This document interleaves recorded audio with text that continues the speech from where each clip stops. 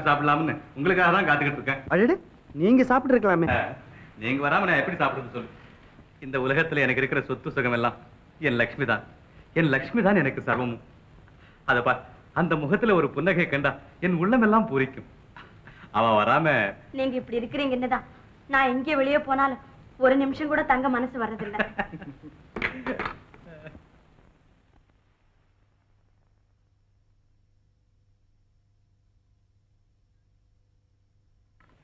அப்பா நானும் ரவியும் ஒரு முடிவுக்கு வந்திருக்கோம். சுபம்.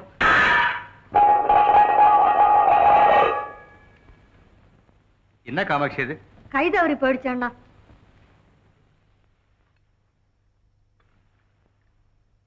அப்பா ரவி தற்சமயம் ஊருக்கு போக மாட்டார். எனக்கு இந்த லீவு நாள்ல சைக்காலஜி சொல்லி தரேன்னாரு. ஓ ரொம்ப நல்லது. நம்ம வீட்லயே தங்கலாம் நம்ம வீட்லயே சாப்பிடலாம். ஆ சாப்பாட்டை பத்தி என்னங்க?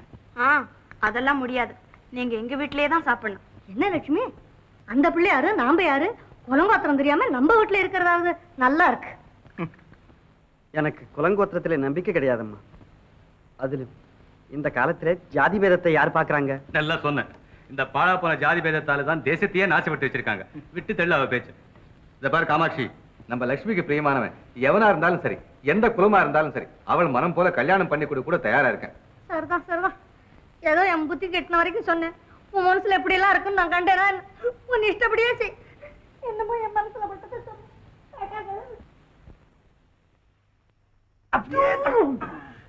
விடாதீங்க கொண்டு விடாதீங்க.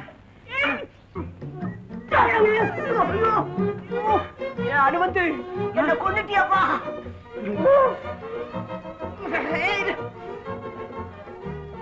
என்ன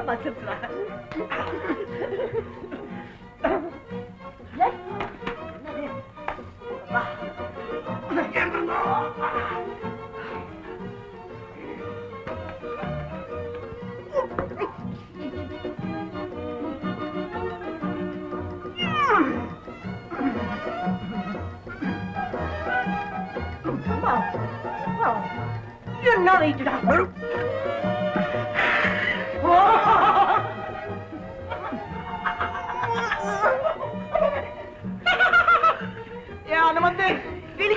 இருக்க கொஞ்சம் கூட மாட ஒத்தாசம் பண்ணப்படாது குண்டு முடியாதுமா நான் ஒத்தா செஞ்ச நீங்க கஷ்டம் செய்யறது எதுக்குன்னு? எதுக்குன்னு? எனக்கு என்ன தெரியும்? கொஞ்சம் பிடி. எங்க அம்மா செய்ய சொன்னாங்க. கடனுக்கு செஞ்சுக்கிட்டு இருக்கேன். அம்மா சொன்னாங்களா? லட்சுமி மேல கண்ணால பண்ணி வைக்க உங்க பாடியை தயார் பண்றாங்க. அதானுங்க. என்னடா அது? என்ன உளற? ஒண்ணு இல்லம்மா ஒண்ணு இல்லம்மா ஆய மூடு. வேலைக்காரனா ஒழுங்கா இல்லாம கடக்கிற வேலையை போட்டுட்டு கல்யாண பேச்ச பேச வந்துட்டே பெரிய மனுஷனாட்டம். உன்னை டிஸ்கஸ் பண்றேன் பாரு. வெளியே போடா. எப்படிம்மா? இன்னும் பாரு. நீ கத்திரிச்சு இது போதும். இப்படி வா. என்ன காப்பாத்தினியம்மா. உன் வாயிலிருந்து இந்த உத்தரவு எப்ப வரும்னு எதிர்பார்த்துட்டு இருந்தேன். நீ வாழ்க தேக பயிற்சி வீழ்க. ஏண்டா குண்டு? என்னது? அந்த லட்சுமி கூட மாட இருந்து காதல் கதல் செய்ய சொன்னேனா இல்லையா? சரியா போச்சு. நீ சொன்னதுல இருந்து படிக்காத புஸ்தகம் எல்லாம் படிச்சு படாத பாடெல்லாம் பட்டு அந்த காதல் கீதல் பண்ணிக்கிட்டு தானே இருக்கேன். நீ காதலிக்கிற சரிடா. அந்த லட்சுமி உன்னை காதலிக்க வேணா. வேண்டாம்னு யாரு சொன்னா? காதலிக்க சொல்ல நானும் மாட்டேங்கிறேன். படையம் உலக்க கொழுந்து. வர்றேன்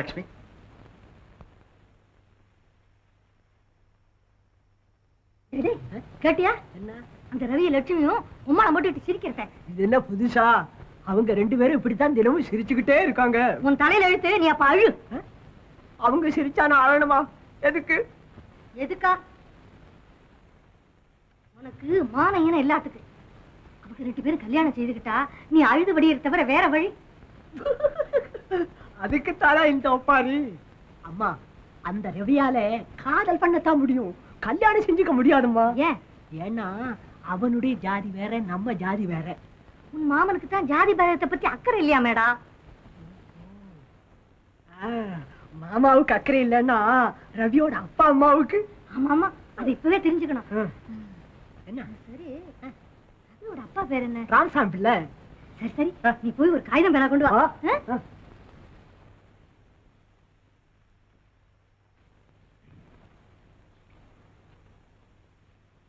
ராமசாமி பிள்ளைக்கு ஒரு தபால் எழுது. எதுக்கு? எதுக்கா? உனக்கு மூளை இல்லாத கன்றாவிச்சு ஓஹோ. ஏமா அவருக்கு தபால் எழுதுனா மூளைய வாங்கி லாரியில அனுப்புவாரா? வாய முடிட்டு எழுத தொலையாண்டா. சொல்லுங்க. மகாராஜ ராஜஸ்ரீ ராமசாமி பிள்ளை அவர்களுக்கு நமஸ்காரம் செய்து நமஸ்காரம். உங்கள் குமாரன் ரவீந்திரன் சகவாச தோஷத்தினால் வேறு ஜாதி பெண்ணை கலப்பு மணம் செய்து கொள்ள தீவிரமாக ஏற்பாடு செய்து வருகிறான்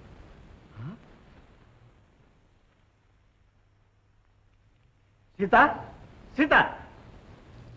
என்னங்க? கேட்டையா உன் மகன் செய்த காரியத்தை? என்னங்க? அவர் கல்யாணம் பண்ணிக்க போறாராம் அப்படியா? ரொம்ப சந்தோஷம். நாசமா போச்சு. நீ அவனுக்கு அம்மா தானே? அவன் வேற ஜாதி பெண்ணை கல்யாணம் பண்ணிக்க போறானா வேற ஜாதி பொண்ணையா? ஆமாண்டி ஆமா. அவன் சிநேகிதனா எனக்கு லெட்டர் எழுதிட்டான். நம்ம ரவி நமக்கு தெரியாம இந்த மாதிரியான காரியத்தை செய்யவே மாட்டான்.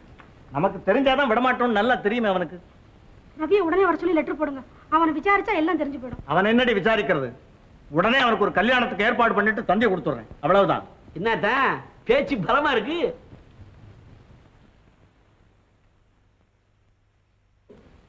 வாங்கண்ணா உட்காருங்க. என்னம்மா விஷயம்? எல்லாம் நம்ம ரவி கல்யாண விஷயம்தான். செய்துவிட வேண்டியதுதான். ஆனா இந்த காலத்து பசங்களுக்கு குடும்ப கஷ்டமே தெரியலையே. இத பாரு எனக்குன்னு வந்து வாச்சிருக்கான ஒரு மாப்பிளை அந்த பய வேளா வேலைக்கு தின்னுட்டு வீட்டை விட்டு அசையாம குத்துக்கெல்லாம் உட்காந்துருக்கான் ஏதோ கொஞ்சம் படிச்சிருக்கான். அதை வச்சுக்கிட்டு ஒரு வேலை வெட்டி தரக்கூடாதா. உடம்பு வளைவனாங்க நானும் பொறுத்து பொறுத்து பார்த்தேன். அந்த பயலை கூப்பிட்டு ஏல மடப்பய மருமவனே வேலை வெட்டி பார்த்துக்கிட்டு ஒழுங்கா இருந்தா இரு. இல்லைன்னா வீட்டை விட்டு வெளியே போ அப்படின்னு கண்டிச்சு விட்டுட்டேன் யாரு? நம்ம ராமதுரேவா? ஆமா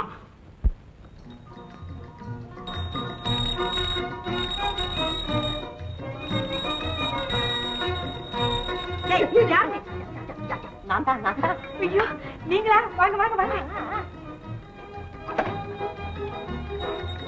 வாங்க. அப்பா. என்னங்க? இருக்காரா?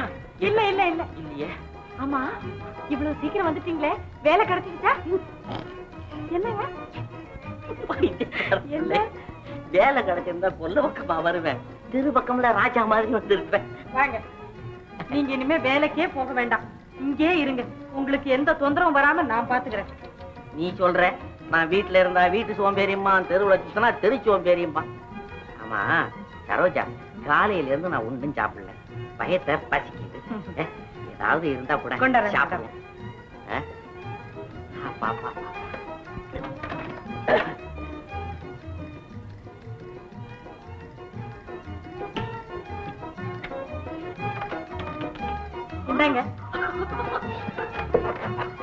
நீ சுட்டியா?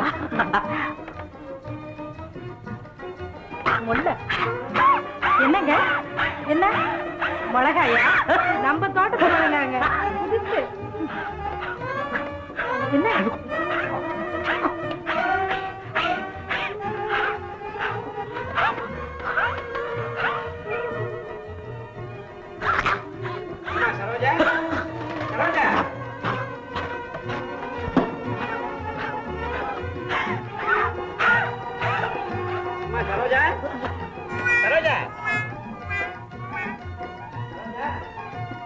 ஏய் புரியா அந்த மூட்டைகளை எல்லாம் உள்ள போடா. போடா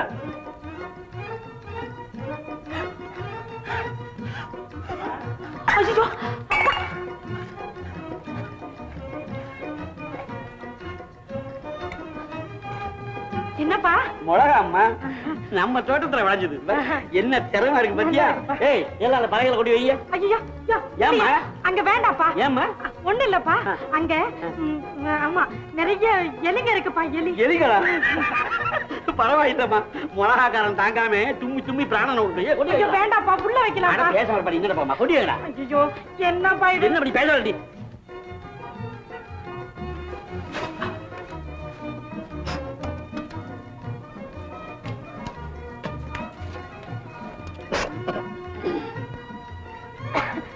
போபா அந்த முட்டையை எடுத்து வந்துருங்க. ஏம்மா? ஒண்ணு இல்லப்பா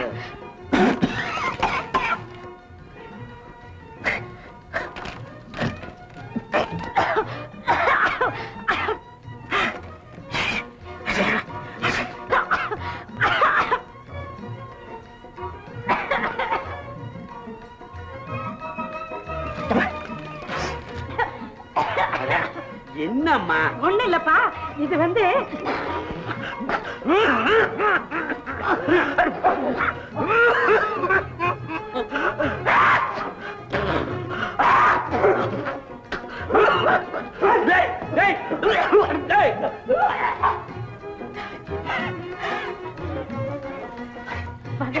அப்ப என்ன போய் வாங்க. சீக்கிரம் வாங்க.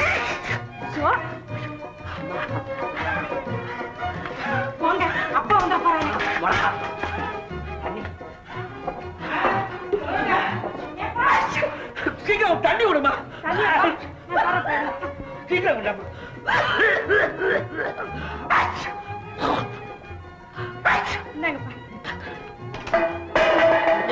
ஒண்ணு இல்லப்பா ஒண்ணு இல்ல பூனை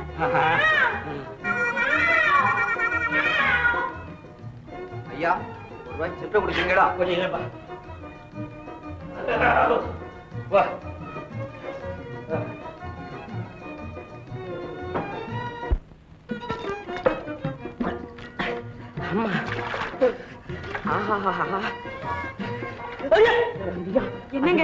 வாகன் பயந்துட்டு உடம்பெல்லாம் எரியுதா? ரொம்ப எரியுது.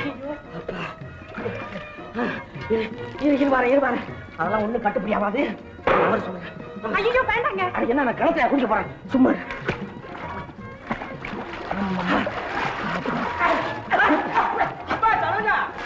வெளிய திரும்ப போயிட்டு வந்தாலே. என்னப்பா? உடம்புலாம் ஒரே எரிச்சலா இருக்குமா? கொஞ்சம் வெந்நீர் போட்டு குடிக்கலாம்னு வெந்நீர் தானே? நான் போட்டு வரேன் நீங்க உள்ள போங்க. உனக்கு சிரமம் வேண்டாமா நான் போட்டுக்கிறேன். விறகு இருக்கு எண்ணெய் இருக்கு நெருப்பு இருக்கு. பரவாயில்லப்பா நான் போட்டு நீ. பேசாம இருக்குமா ஐயோ சொன்னா கேளுங்கப்பா. பேசாம தண்ணி இருக்கு. நெருப்பட்டி இருக்குமா எனக்கு தெரியாதே. இதுவும் இருக்குமா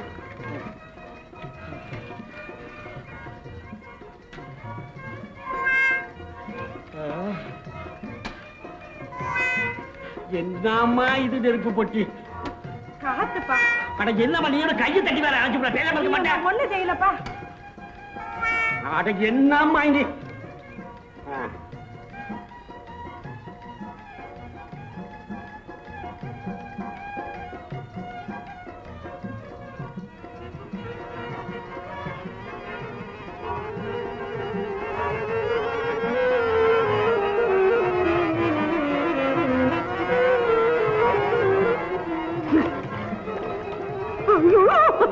ஆ. என்னம்மா இது ஒண்ணு இல்லப்பா எல்லா விறகும் போடுறீங்களேன்னு சொல்லி ஆமா பேசாம.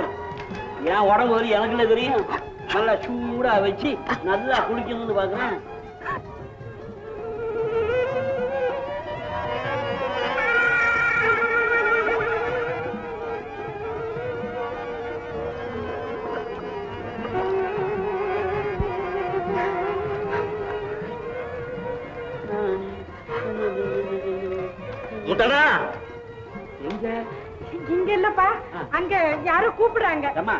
நீ விறக எரிய விடு. நான் போயிட்டு வந்துடுறேன். வாங்க வாங்க.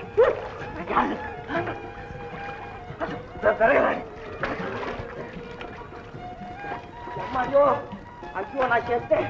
ஐயோ இவர்கிட்ட மனுஷன் தெரியாம வந்துட்டா உயிரோட விட மாட்டாங்க போல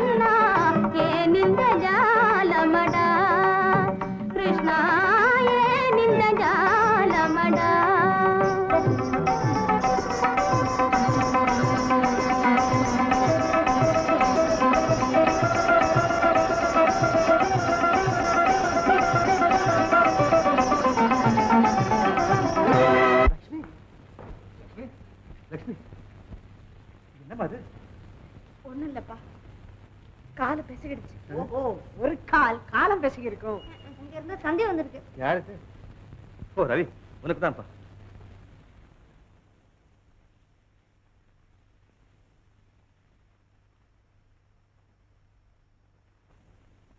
எங்கிருந்து வந்திருக்கிறவி அப்பா கிட்ட இருந்து. உடனே புறப்பட்டு வர சொல்லியிருக்காரு.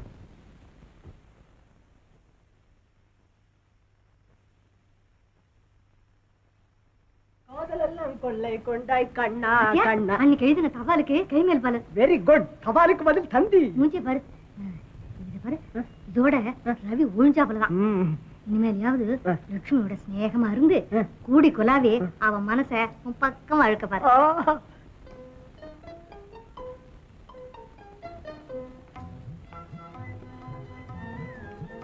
லட்சுமி என்ன இது?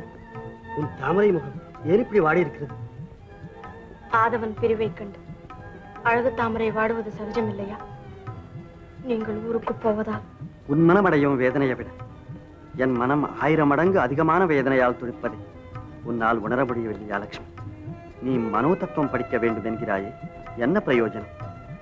பிரேமையால் கட்டுண்ட இருவர் விலகிச் செல்லும் போது அவர்களது இரண்டு உள்ளங்களும் மிக மிக நெருங்கி உறவாடும். அதுதான் மனோ தத்துவம் நான் ஊருக்கு போனாலும் என் உள்ளத்தை உன்னிலல்லவா விட்டுச் செல்கிறேன்.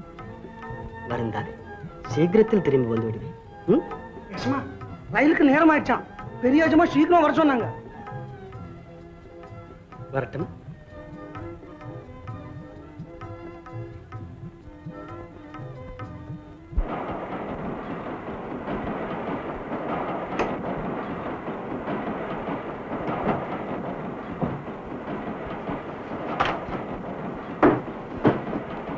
சார் இதை கொஞ்சம் தள்ளி வச்சுக்கிறீங்களா? ஓ ஐ எம் சாரி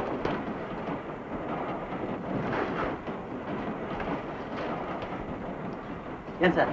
இந்த வண்டி தஞ்சாவூருக்கு எப்போ போகுது? Early morning five o'clock போகுது சார்.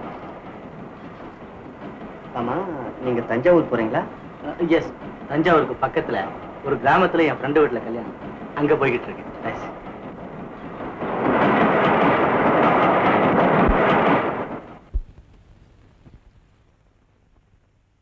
என்னங்க இது? ரவி வந்த உடனே அவனையும் கலந்துக்கிட்டு கல்யாண ஏற்பாடை செய்யாம திடீர்னு இப்படி முடிவு செய்துட்டு வந்துட்டீங்களே? ஒரு நாள்ல என்ன காரியத்தை செய்ய முடியும்? யார அழைக்க முடியும்? எல்லாம் யோஜனை பண்ணி தான் செய்திருக்கு. இந்த முகூர்த்தம் தவிரனா இந்த வருஷத்திலேயே வேற முகூர்த்தம் கிடையாது. எது எப்படி ஆனாலும் சரி நாளைக்கே இந்த கல்யாணம் நடந்து தீரணும் அவ்வளவுதான். அம்மா. வாப்பா ரவி. உன்னைத்தான் எதிர்பார்த்துட்டு இருக்கோம். எதுக்கம்மா தந்தி கொடுத்தீங்க? இங்க ஏதோ குடிமுடிவு போச்சேன்னு இல்ல அவசரப்பட்டு வந்து. ஆஹா. முடி முழுகனாத்தான் வரவு போல இருக்கு. ஏண்டா? லீவ் விட்டு ஒரு வாரம் ஆச்சு உடனே ஊருக்கு வராம மெட்ராஸ்ல உனக்கு என்னடா வேலை? அதுக்கு இல்ல லெட்டர் எழுதின போருமே. எப்ப லெட்டர் எழுதுறது எப்ப தந்தி அடிக்கிறதுங்கிறது நீ எனக்கு சொல்லித் தர்றியா? நாளைக்கே உனக்கு கல்யாணம்டா. நாளைக்கு எனக்கு கல்யாணமா?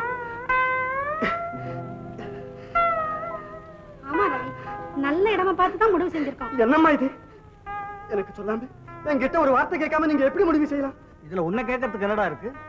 நம்ம அந்தஸ்துக்கு தகுந்த இடம் அந்த குடும்பத்துக்கு ஒரே பொண்ணு ரொம்ப அழகாவும் இருக்கா பேர் தேவகி இன்னும் என்னடா வேணும்?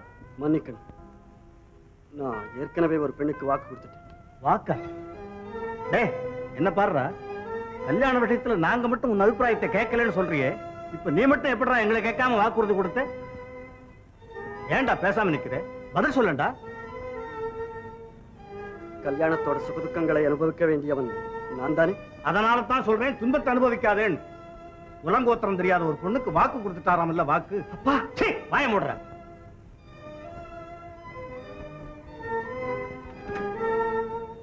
ஏண்டி பேசாம நிக்கிற? போய் சொல்ல அவனுக்கு.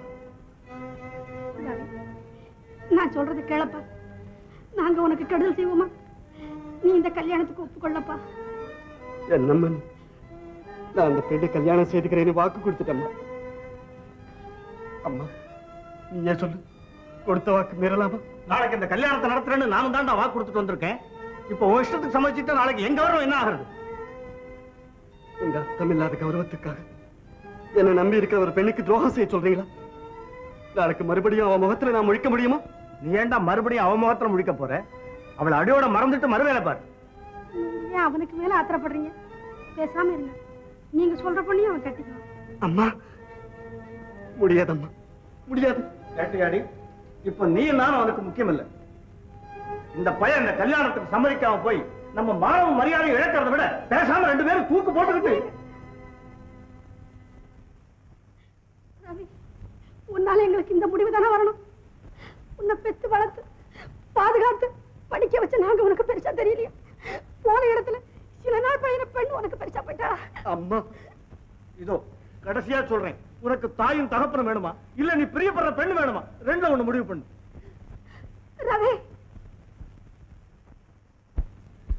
ரவி ஏதோ ஆத்திரத்துல பேசிட்டப்பா நான் சொல்றத கேளுனா பத்து பேருக்கு முன்னால என் மானத்தை வாங்காதடா. இது கையில் உன் காலை பிடிச்சு கெஞ்சி கேட்கறேன்னு நினைச்சுக்கடா ரவி. ரவி அப்பா.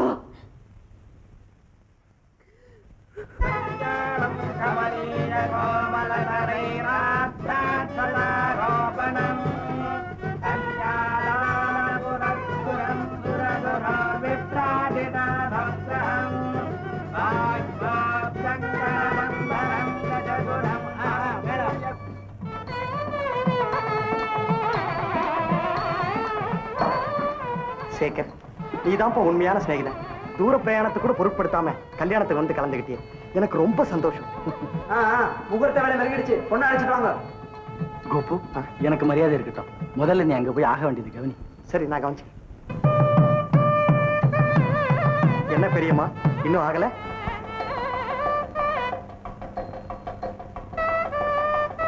அம்மா பார்வதி.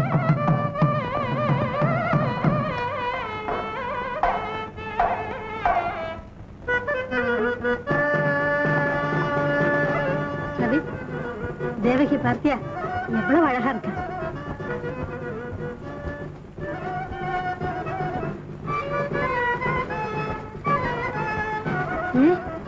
என்ன யோசிக்கிற?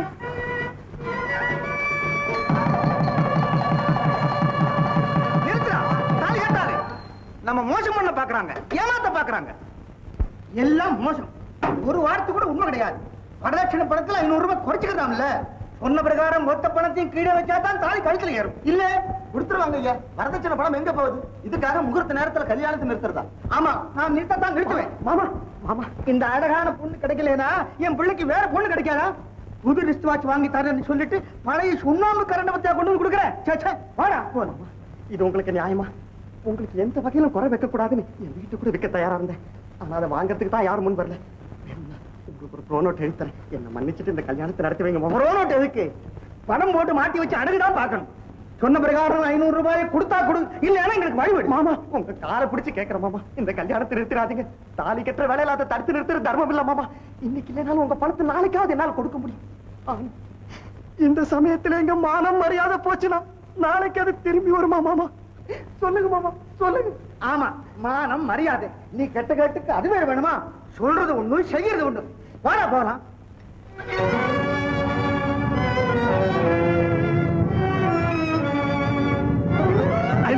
ஏன் யா நீங்கெல்லாம் பெரியவங்க. உங்களுக்கு தெரியாத ஒண்ணுமில்லை. ஒரு இளம் பெண்ணின் வாழ்வு முக்கியமா? கேவலம் பணம் முக்கியமா?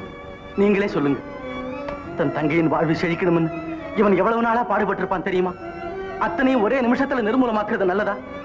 தன் சகோதரி மேல இருக்கிற பாசத்தினால உங்க காலை கூட பிடிச்சு கெஞ்சான் கொஞ்சம் தயவு செய்து கருணை காட்டுங்க.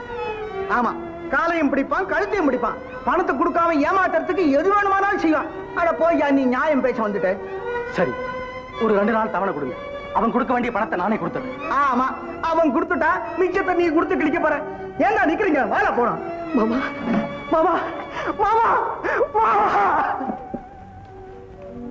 கோபு கோபு எழுந்து. நான் சொல்றதை கேளு. நீ படிச்சவன். மேற்கொண்டு ஆக வேண்டிய காரியத்தை விட்டுட்டு இப்படி பச்சை புள்ள படம் அழலாமா இவனுங்க போனா போகட்டுமே. வேறொரு மாப்பிள்ளை கிடைக்காமலா போயிடுவான். என் மானமே போச்சு சேகர். என் தங்கையோட வாழ்வே சிதறி போச்சு. முகூர்த்த வேலையில கல்யாணம் நின்னு போச்சுன்னு சொன்னா என் தங்கையை அவன் கட்டிக்குவா சேகர். இனிமே நாங்க ரெண்டு பேரும் எங்கேயாவது ஆத்திரியாவது கோத்தியாவது விழுந்து சாவறதை தவிர வேற வழி இல்லை. கோபு நாலு பேர் முகத்துல எப்படி முழிப்பான் சேகர்? இனிமே என் தங்கையை கட்டிக்க எவன் முன் வருவான் சேகர்? எவன் வருவான் சேகர்?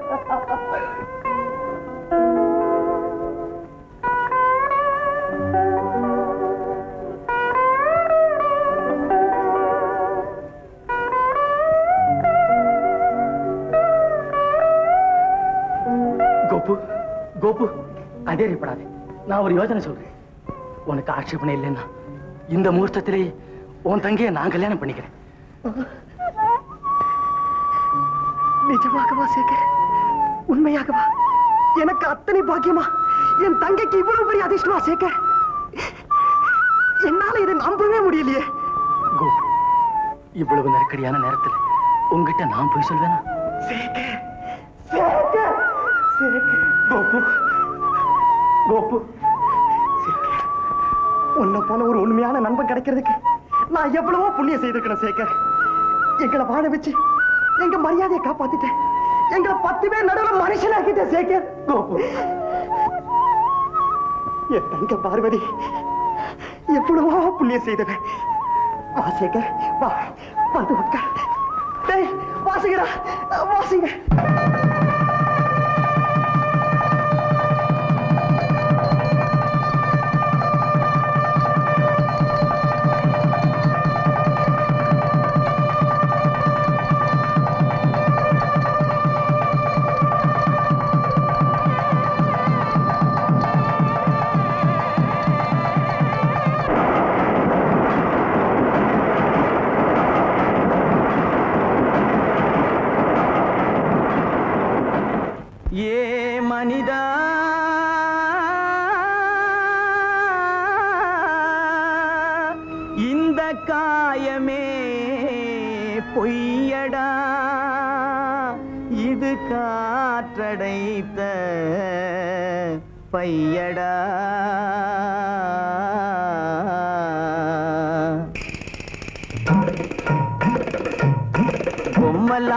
இது பொம்மலாட்டம் இது நம்பிடுவாய் மனிதா. மனிதா நம்பிடுவாய் மனிதா. அந்த பொம்மையில் நீ ஓர் பொம்மையடா இது உண்மையடா மனிதா.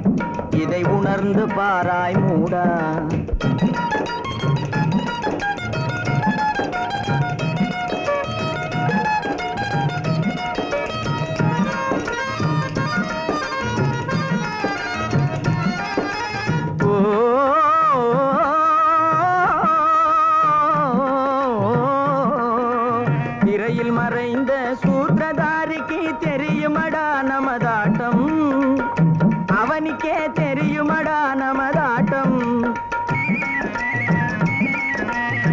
நிமிஷத்திலே மறு நிமிஷத்திலே என்ன மாயா உலகின் ஓட்டம். ஆட்டு எடா நம் கூட்டம். நரி வந்து விட்டால் திண்டாட்டம்.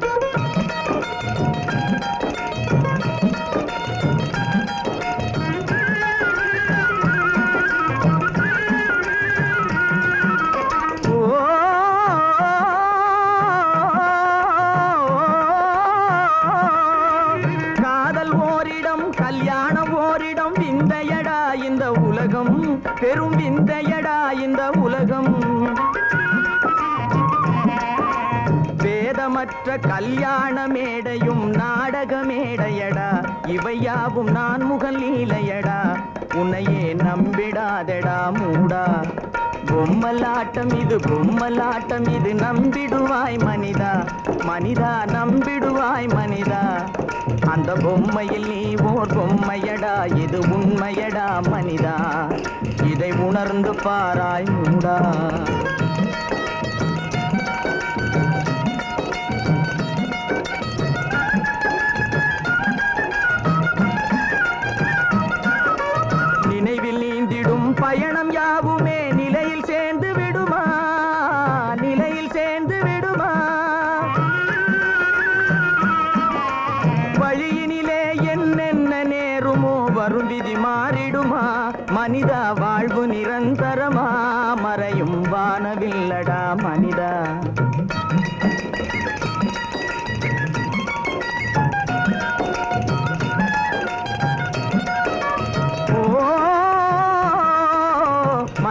மனித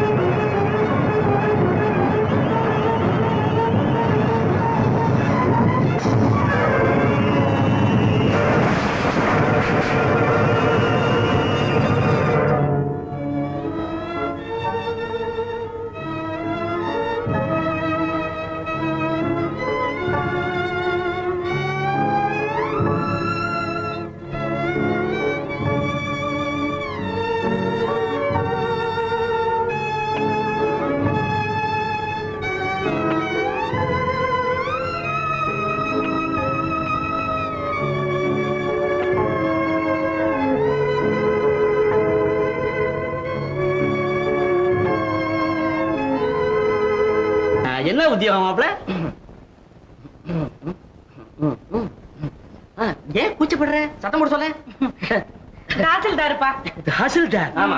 பலே, பலே. ஆமா, மிளகா தாசில்தார். இல்ல மிளகா தாசில்தார். முழகா தாசில்தாரா? ஆமா. அது என்னது அது? என்னன்னா தேவைக்கு அதிகமா யார் இடத்துல மிளகாய் இருக்குதோ அவங்கள உடனடியா போலீஸ்ல புடிச்சு கொடுத்து ஜெயில தள்ள வேண்டியதுதான் என்னுடைய டியூட்டி இப்போ உதாரணமா நம்ம வீட்டுல ஒரு கூட மிளகாய் இருந்தா போதும். உங்களை உடனே ஜெயில தள்ளிடுவேன். அப்பதான் எனக்கு ப்ரமோஷன் நம்ம வீட்டுல ரசத்துல கூட மிளகா போடுறது இல்லையே சொல்லுமா? ஆமாப்பா. மாமா உத்தியோகத்துக்கு இப்பதான் சேர்ந்திருக்கிறேன். ஆரம்பத்திலே ஒரு கேஸ் பிடிக்கலன்னா பெருத்த அவமானம். இருங்க இருங்க இருங்க இருங்க. இருங்க இந்த மூட்டையில எல்லாம் என்ன இருக்குது? அதெல்லாம் ஒண்ணு இல்ல மாப்பிள. இருங்க மிளகா தலையை நட்டுதேன் இல்ல மாப்பிள. என்ன? நீ இருக்க மாப்பிள. மாப்பிள மாப்பிள நான் ரொம்ப- ரொம்ப- கேட்டுக்கொள்றேன். மாப்பிள தயவு செய்து இந்த உத்தியோகத்தை ராஜினாமா பண்ணி விடுங்க ஒரு வேலையும் செய்ய வேண்டாம். நீங்க வீட்டோட இருங்க. அப்படியா? உங்களுக்கு வீடு இருக்கு வாசல் இருக்கு பணம் இருக்கு எல்லாம் இருக்கு மாப்பிள. சொல்லம்மா சொல்லு. ஆமாங்க. அப்பா இவ்வளவு தூரம் கெஞ்சுறாரு இல்ல வேலையை விட்டுருங்க. வேலையை வா. ஆமாங்க. அது எப்படி முடியும்? நினைச்சா முடியும் மாப்பிள. மாமா மாப்பிள. காலையில போய் வேலை வாங்கிட்டு வந்திருக்கேன். மாலையில கான்சல் பண்ண அது நல்லா இல்ல. பரவாயில்ல அப்படியா? சரி அப்போ மாமாவுக்காக நான் உடனடியா அந்த வேலையை கான்சல் பண்றதா இருந்தா அவனுக்கு அட்வான்ஸ் ஐநூறு ரூபாய் கொடுக்கணும் ஐநூறு ரூபா ஆமாப்பா அட்வான்ஸ் கொடுத்து. ஐநூறு ரூபா நான் தர்றேன் மாப்பிள. அந்த வேலையை நீங்க விட்டா போதும். தேங்க்ஸ் ரவி ரவி கொண்டாட்டி வந்திருக்காங்க. உங்களை வர சொன்னாங்க. வந்துட்டாங்களா? இதோ மாப்பிள நீங்க இருங்க நான் போயிட்டு பணம், வந்துடுறேன் பணம். வந்து தர்றேன். உனக்கு கொஞ்சம் மூளை இருக்கத்தான் செய்யுது. அது இருக்கட்டும் தாத்தா. அவர் எப்போ போனாரு பெண்ணை பார்த்து கல்யாணம் எப்போ நிச்சயம் செய்தாரு மகனை எப்போ வரவழைச்சாருங்கிறத பத்தி ஊர்ல யாருக்குமே தெரியாதே? தெரிஞ்சுதான் யாரு என்னைய செய்ய முடியும். என்னவோ அவர் சாக வேண்டிய காலம் நெருங்கி போச்சு. மகன் மேல கோவிச்சுக்கிட்டு இப்ப குடும்பத்தையே எவன்கிட்ட ஒப்படைச்சுட்டார் ரவி ஆனதென்னமோ ஆகி போச்சு இனி வருந்தி என்ன பிரயோஜனம்? மேலே நடக்க வேண்டியதை பாரு. அதுதான்மா ஒரு ஒரு பெண்ணுங்க வர நேரம் கெட்டதா இருந்தா இப்படிதான் ஆகும். என்னது? பொம்பளை எல்லாம் சேர்ந்து மகாநாடு கூட்டிட்டீங்களா? போவீங்களா? ம். ஏம்மா கவலைப்படுற? அன்பும் ஆதரவும் காட்ட நாங்க இருக்கோம். பையன் ரொம்ப நல்லவன். உன் அதர்ஷ்டத்தினால தான் அவன் உனக்கு கிடைச்சான். உன் மாங்கல்ய வரம் பரிபூர்ணமா இருக்கு. அதனால தான் உன் புருஷன் பழச்சான் அதை நினைச்சு சந்தோஷப்படும்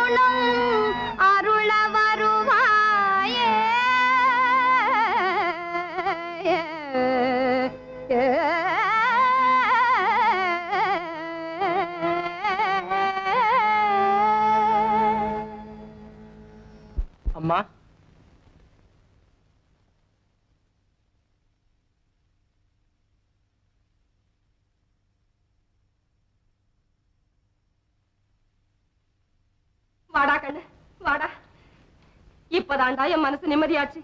ஏதோ கல்யாணத்துக்கு தஞ்சாவூருக்கு போயிட்டு வரேன்னு நீ கடிதாசி எழுதுனியே அந்த பக்கம் ரயில் கவுந்துடுச்சுன்னு பேப்பர்ல வந்தது. நீ என்ன ஆனியோ என்னமோன்னு ராத்திரி பகல எனக்கு ஒரே வேதனையா போச்சு. நீ சுகமா வீடு திரும்பணும்னு. நான் வேண்டிக்காத தெய்வம் இல்லடா அப்பா. ஆமா நீ ஏன்டா இப்படி இருக்கிற? உன் பெட்டி படுக்கையெல்லாம் இங்கே. பெட்டியாவது படுக்கையாவது. நான் பழைச்சு வந்ததே புனர்ஜென்மம்மா? அப்படியா? நீயும் அந்த ரயில தான் வந்தியா? யார் செய்த புண்ணியமோ? நீ பொழைச்சு வந்திய அதுவே போதும். இருடா கண்ணு. நான் போய் காப்பி கொண்டு வரேன்.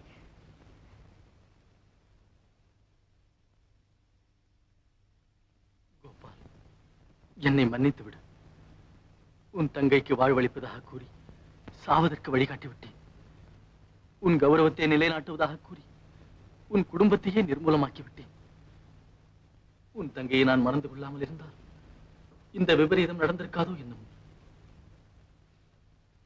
இந்த காப்பி ஆ?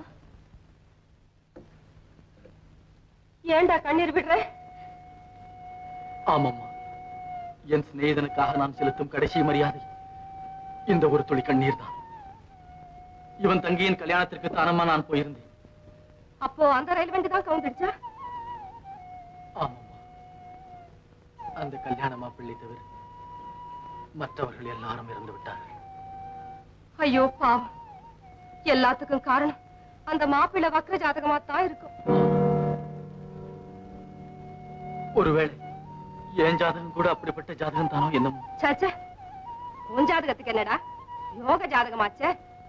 சீதை சாவித்திரி போல எந்த குணவதி உனக்காக எங்கே தவம் இருந்துகிட்டு இருக்காளோ?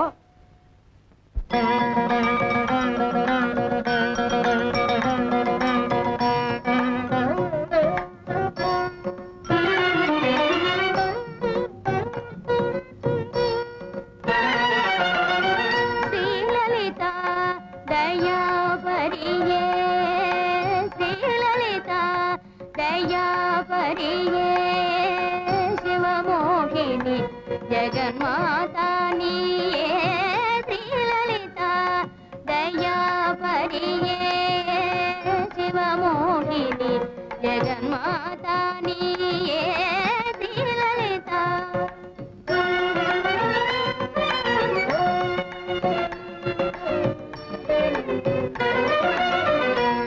ஓங்காரமயி திரிபுர சுந்தரி ஸ்ரீகாரி அருள்மேவும் சங்கரி ஓங்காரமயி திரிபுர சுந்தரி ஸ்ரீகாரி அருள்மேவும் சங்கரி ஸ்ரீ சக்கரராஜ நிலையே. சக்கரராஜ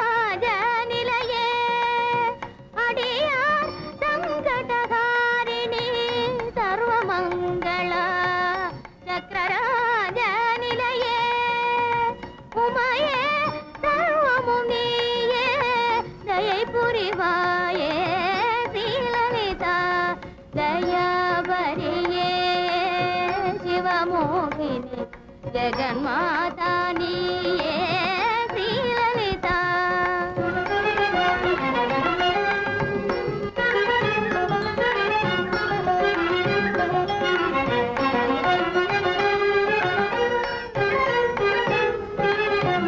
பரமேஸ்வரன் இடபாகமர்ந்தனி பரிவுடன் மகிழ்ந்திடும்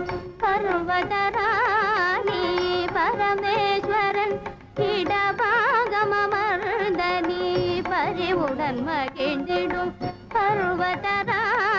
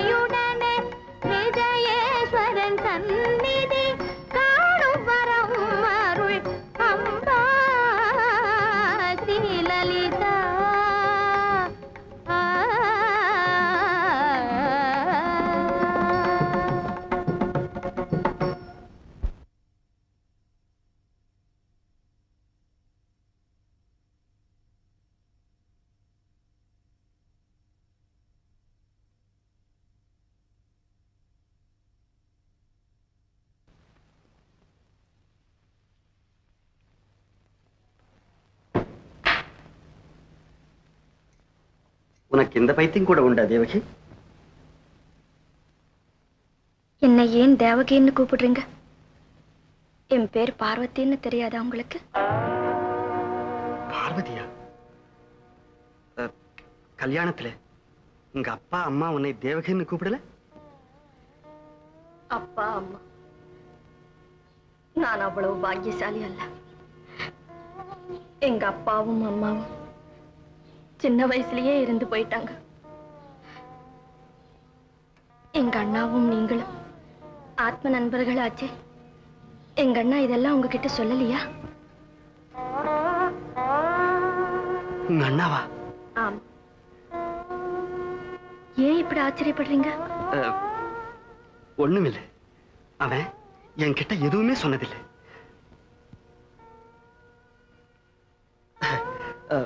ரயில் விபத்துல இருந்து எனக்கு ஒரே குழப்பமா இருக்கு கல்யாண சமயத்துல நீ என்ன பாத்தியா?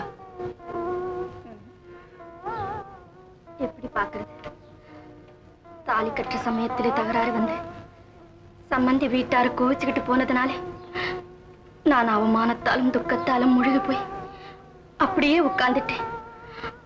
ஆத்திலையாவது குளத்திலேயாவது விழுந்து உயிரை விடலாம் என்று முடிவு செய்யறப்போ போல நீங்க வந்து என்னை கல்யாணம் செய்துக்கிட்டீங்க.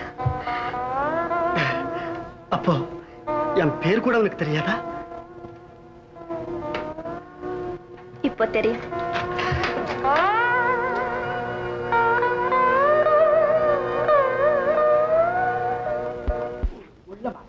ஆமாப்பா அவ பேரு தேவகி இல்லையா?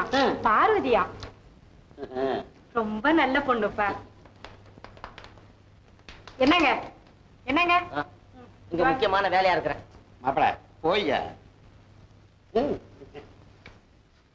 என்னை எப்ப பார்த்தாலும் அவ கூட பேசிக்கிட்டே இருக்க சொல்றாப்பா. பேச்சு துணைக்கா இருக்கும்?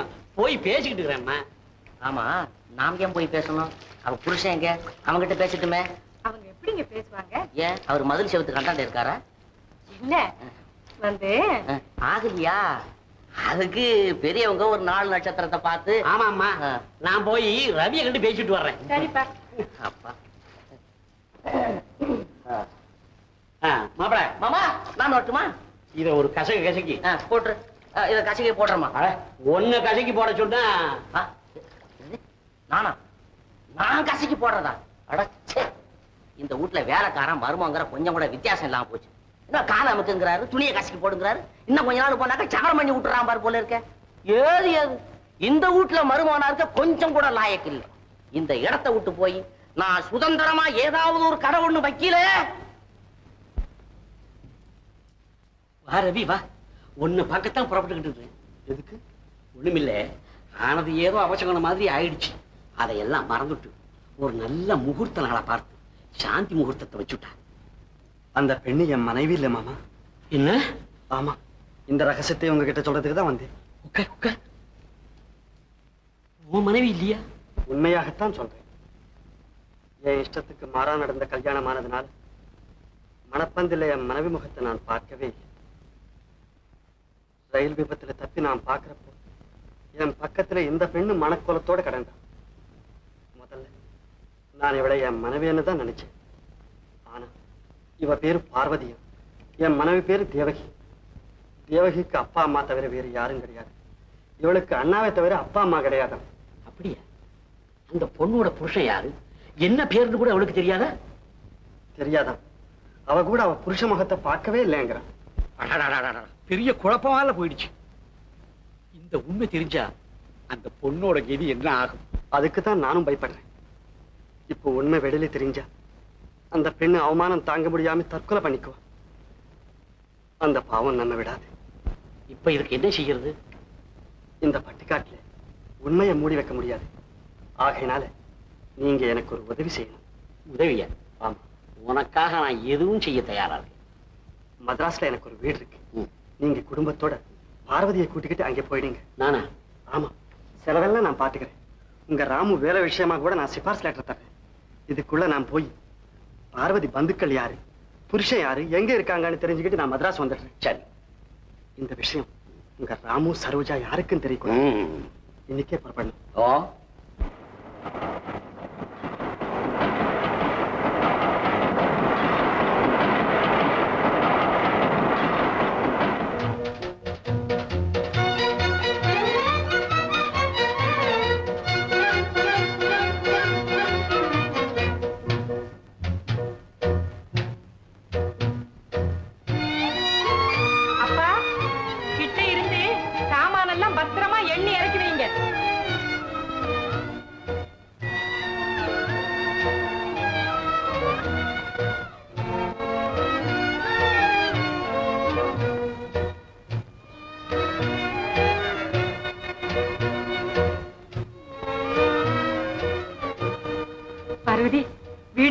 நல்லா இருக்குதுல்ல? ஆமா போகட்டும். இந்த வீட்டுக்கு வந்த அதிர்ஷ்டத்திலேயாவது எங்க வீட்டுக்காரருக்கு வேலை கிடைச்சா அதுவே போதும்.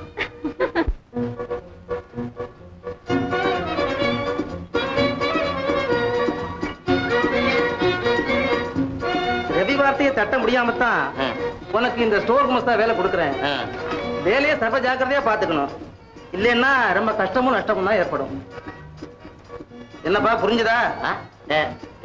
எனக்கு இந்த பக்கம் சத்த கட்ட. இப்ப சொல்லுங்க. வேலைய சர்வ ஜாக்கிரதையா பாத்துக்கணும். இல்லைன்னா கஷ்டமும் நஷ்டமும் தான் ஏற்படும். ஆமா ஆமா கஷ்டமும். அஹ், யாருக்கு? கம்பெனிக்கு தாப்பா சார் சார் இன்னைக்கு சரக்கெல்லாம் வந்துடுச்சு. எல்லாம் வந்துருச்சா ஆமா.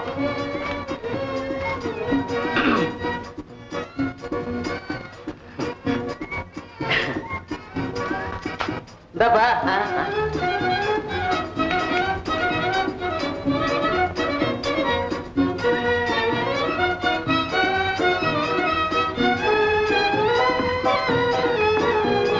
ராமு? இதான் உங்க சீட் மற்றபடி உங்க டியூட்டி என்னங்கிறத ஹெட் குமஸ்தா வந்து விளக்கமா சொல்லுவார். Yes sir Ramu? Yes sir முக்கியமா என்னன்னா இந்த ரூம்ல அந்நிய ஆட்கள் யாரும் பிரவேசிக்காதபடி பாத்துக்கணும் எஸ் சார் ஜாக்கிரதை.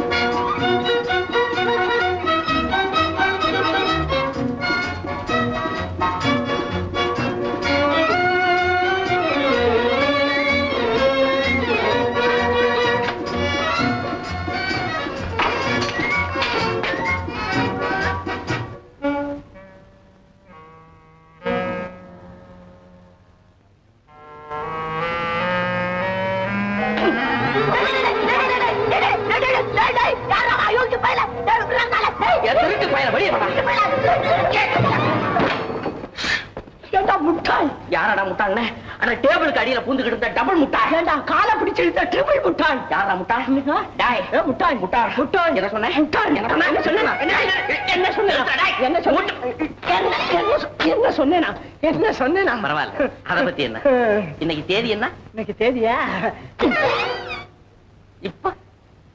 இப்ப? இப்பவா? இன்னைக்கு மணி என்ன? இப்ப? இப்ப? இப்பவா? வாய நீ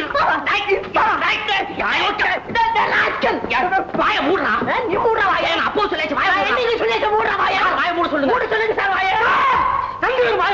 இது நான் இல்ல. ஆமா என்ன ஆமா இல்ல. இல்ல மணி யார் தெரியுமா ஆபீஸ்ல உதவி குமஸ்தாவா வேலைக்கு சேர்த்திருக்கு ராமு இவர் யார் தெரியுமா இவர் தான் ஹெட் குமஸ்தா நீங்க ரெண்டு பேரும் ஆபீஸ்ல ஒத்துமையா வேலை பார்க்கணும் தெரியுதா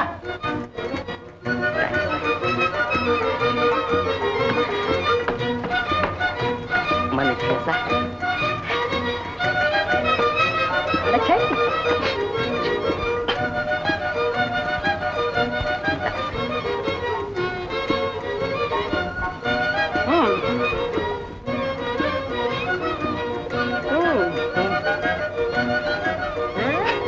பட்டணம் கட்டப்படாது. ஏய் ஆ, இப்படி வா.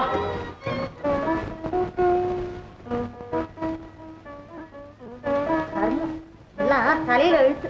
சுகமா வாழ வழி தெரியாதவங்களுக்கு என்ன இருந்து என்ன பிரயோஜனம்? என்ன அத்தை இது? ஏம்மா நீ இப்படி எதையோ பறி கொடுத்தவ போல உட்காந்துட்டு இருக்கிறது. நல்லா இருக்கா? இப்படி எத்தனை நாள் உங்க அப்பாவை வேதனை அடைய வைக்க போற? அப்பாவை நான் வேதனைப்பட வைக்கிறேனா? பின்ன என்ன? நீ சந்தோஷமா நிம்மதியா இருந்தா தானே அவருக்கு ஆனந்தம் எல்லாம்? நீ இப்படி கண்ணை கசிக்கிட்டு இருந்தா அவர் பச்சை தண்ணி கூட குடிக்க மாட்டேங்கிறாரு. எங்க எழுந்திருமா காசு சாப்பிடவா?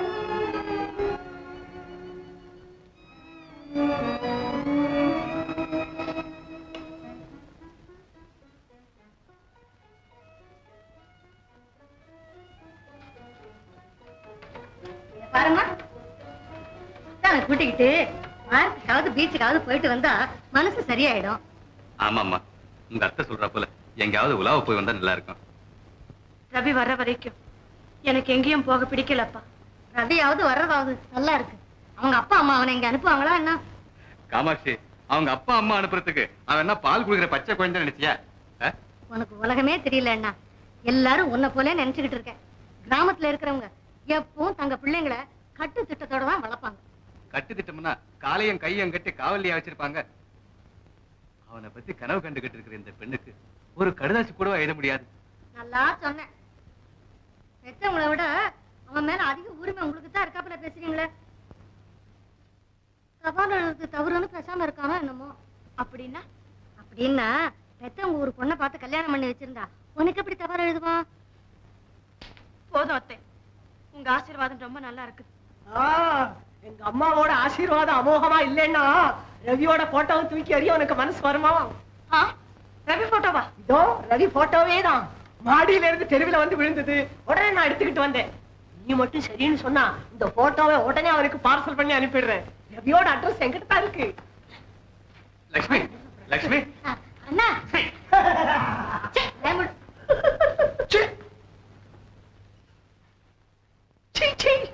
தாங்க அவங்க வீடு. அண்ணனும் தங்கையும் தவிர வேறு யாரும் சொந்தக்காரங்க இந்த ஊர்ல கிடையாது. சரி அந்த மாப்பிள்ளையோட ஊர் பேராவது தெரியுமா? விவரமா தெரியாதுங்க. மாப்பிள்ளை பேரு சேகர்னு சொன்னாங்க. மதுரையில டாக்டர் வேலை பார்க்கறதாகவும் பேசிக்கிட்டாங்க. மதுரையிலையா?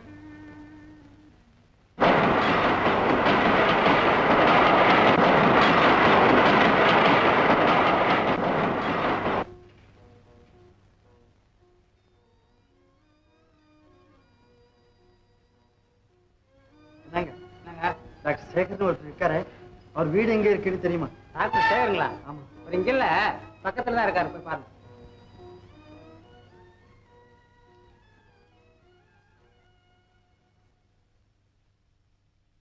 நமஸ்காரம். டாக்டர் சேகர் இருக்காரா? இல்லையே மദ്രാஸ் போயிருக்கான். நீங்க யாரு? எனக்கு அவரை தெரியும். அப்படியா? உட்காருங்க.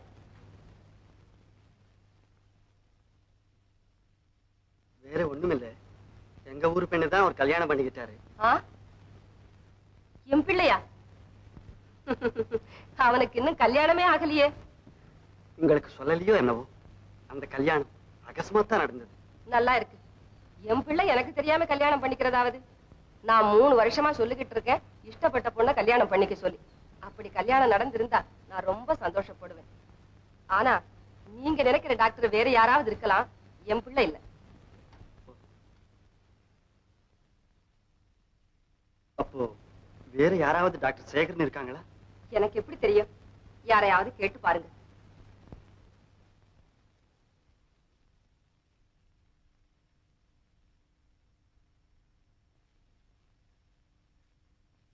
அம்மா? வந்துட்டியா சந்திரா? நீ போன காரியம் எல்லாம் நல்லா நடந்ததா? எல்லாம் நல்லா நடந்ததுமா இப்பதான் உன்னை தேடிட்டு யாரோ ஒரு பையன் வந்துட்டு போறான்ப்பா. யாரு? யாருன்னு எனக்கு என்ன தெரியும்? டாக்டர் சேகர் இருக்காரான்னு கேட்டா என்ன சமாச்சாரம்னு? எங்க ஊர் பெண்ணதான் அவர் கல்யாணம் பண்ணிக்கிட்டாரு. பார்த்துட்டு போலான்னு வந்து அப்படின்னா.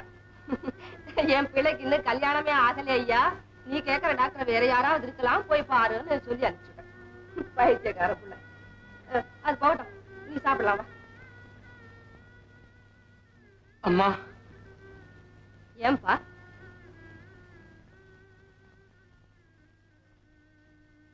அந்த துர்பாகியசாலி நான் தானம்மா அவன் தேடி வந்த டாக்டர் நானே தான். ஆ? நீயா என்னை மன்னித்து விடுங்கள் அம்மா.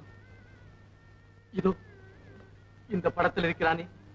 இந்த நண்பனின் கௌரவத்தை காப்பாற்றுவதற்காக அவன் தங்கையின் வாழ்வை பூரணமாக்குவதற்காக அவளை நான் மணந்து கொண்டேன் சந்தர்ப்பத்தாலும் சூழ்நிலையாலும் பெற்ற தாய்க்கு கூட தெரியாமல் மணமானானே. அந்த மங்கையோடு வந்து உன்னிடம் உண்மையை சொல்லி உன் ஆசீர்வாதத்தை பெற நினைத்தேன் அம்மா உன் ஆசீர்வாதத்தை பெற நினைத்தேன். பாடும் விபத்து அவர்களை பழி வாங்கிவிட்டது. இதை உன்னிடம் சொல்லி உன் மனதை நோக செய்ய விரும்புகிறேன் என்னை மன்னித்து விடுங்கள் அம்மா. மன்னித்து விடுங்கள். வருத்தப்படாதே. வருத்தப்படாதே. அவங்க ஆயுசு அவ்வளவுதான்.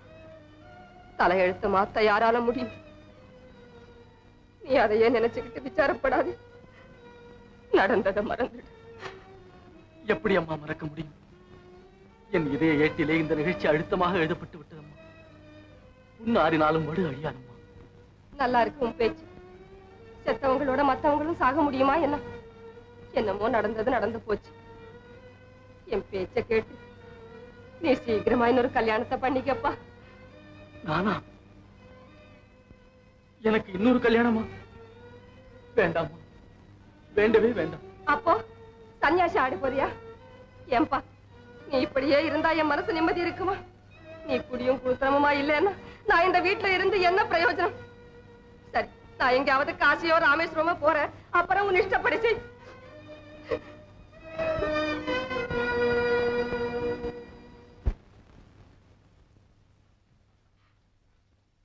உன் புருஷனுக்கு வேலை கிடைச்சதுல உனக்கு எவ்வளவு சந்தோஷம்? இருக்காதா பார்வதி? அவரு வேலை இல்லாம ஊரை சுத்திக்கிட்டு இருந்தப்போ எங்க அப்பா அவரை கேவலமா பேசிக்கிட்டு இருந்தாரு. இப்போ எங்க வீட்டுக்காரர்கிட்ட எங்க அப்பாவுக்கு ரொம்ப மரியாதை. உன் புருஷன் வந்துட்டார்.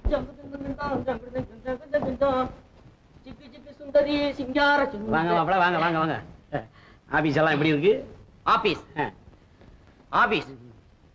பெரிய கட்டடம் மாமா அத சுத்தி நாலு பக்கத்துலயும் ஜன்னல்.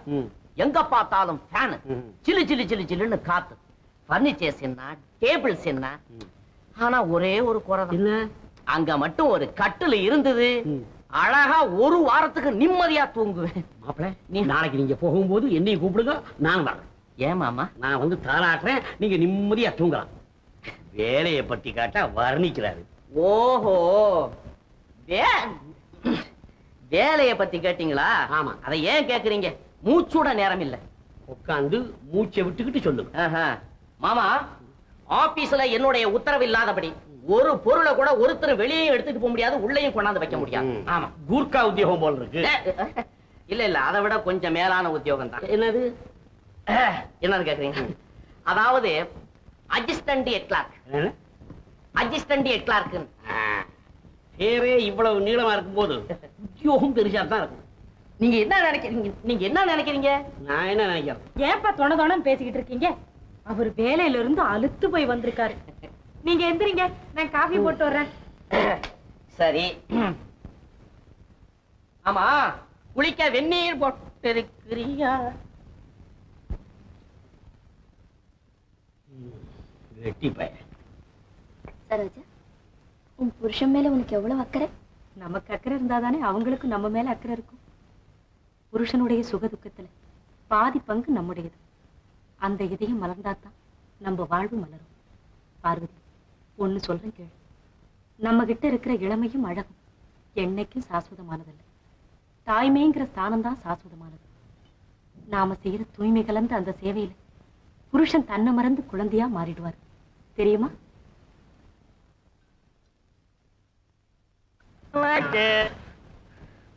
கிராமத்துக்கு போயிட்டு வரலாம்னு நினைக்கிறேன். ரவி வந்துட்டா சௌரியமா இருக்கும். ரவி எதுக்கு மாமா? இந்த சின்ன பொண்களை ஆம்பளை துணை இல்லாம தனியா எப்படி வீட்டுல விட்டுட்டு போறது? வாஸ்தவம் தான். ஆம்பளை தோண அவசியம் தேவைதான். ஏன் மாமா? நீங்க யாருகிட்ட பேசுறீங்க? அப்ப நான் ஆம்பளை இல்லையா? உனக்கு ஏன்டா இந்த சந்தேகம்? அப்ப நான் என்ன பொம்பளையாங்கிறேன்? ஒரு திருடம் வந்தா தெரியும் சரி என்ன சொன்னீங்க? திருடனா?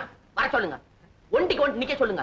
கைய பாத்தீங்களா கைய வடகடா பெரிய பயில்வாணி ஓஹோ. திருட்டு மாமா இல்ல. அதனால நான் சும்மா விட்டேன். அப்ப நமக்கு கவலை இல்ல. ஏமாப்பட அப்ப நான் வரட்டுமா? புறப்பட போறீங்களா? உடனடியா புறப்படுங்க. போங்க. தொலைஞ்சா போதும்னு ஆகி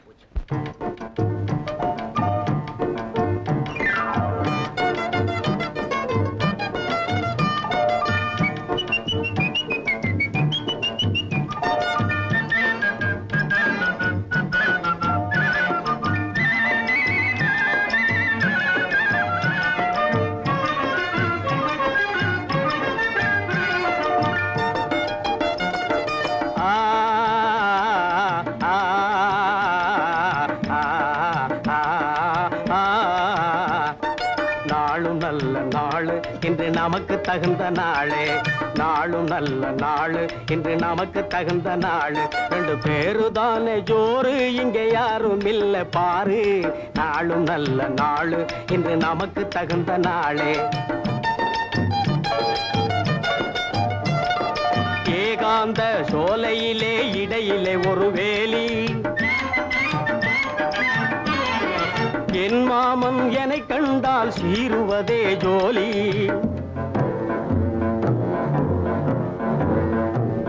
மாமன் என கண்டால் சீருவதே ஜோலி. நாளும் நல்ல நாள் இன்று நமக்கு தகுந்த நாளே.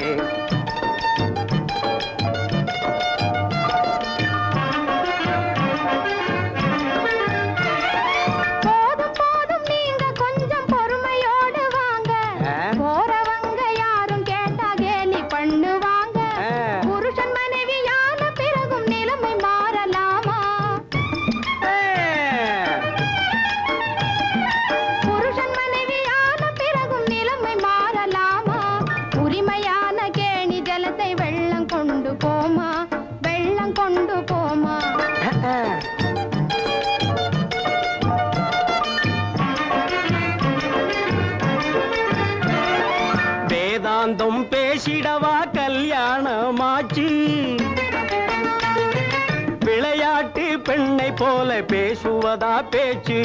ஐ லவ் யூ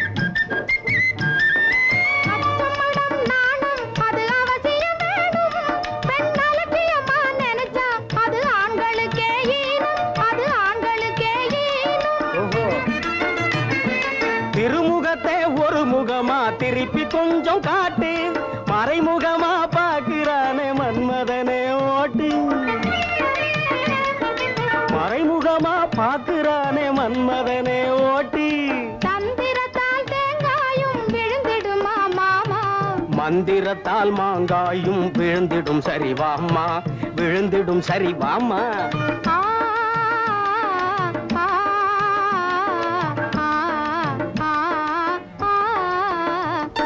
நாளும் நல்ல நாளு இன்று நமக்கு தகுந்த நாளு. ரெண்டு பேரு தானே ஜோறு இங்க யாரும் இல்ல பாரு. நாளும் நல்ல நாளு இன்று நமக்கு தகுந்த நாளு.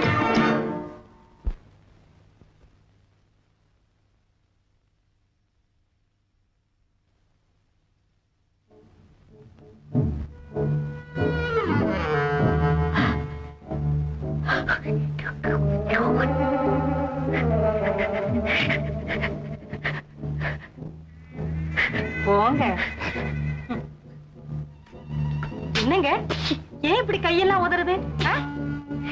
என்னங்க இது? தீயா எங்க? உன்னையும் காணுமே. ஏன் இப்படி பயப்படுறீங்க? என்னங்க? ஒண்ணு இல்லையா. ஒண்ணு இல்லைங்க. ஒண்ணு ஒண்ணு இல்லைங்க. ஒண்ணு இல்லைங்க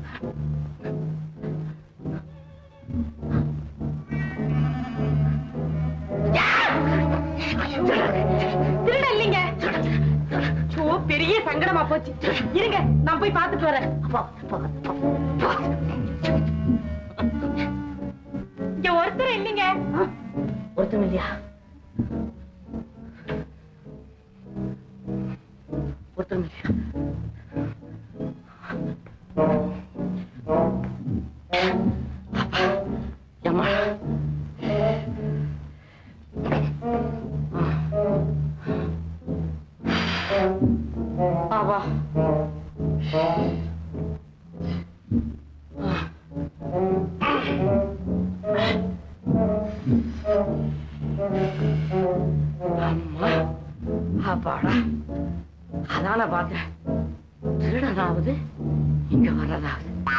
பார்த்து தான் பயந்துருக்கணும்.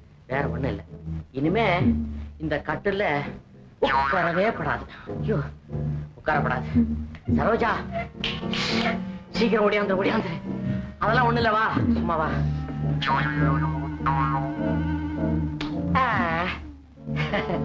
இவ்வளவு பெரிய வீட்டுல திருடனாவது.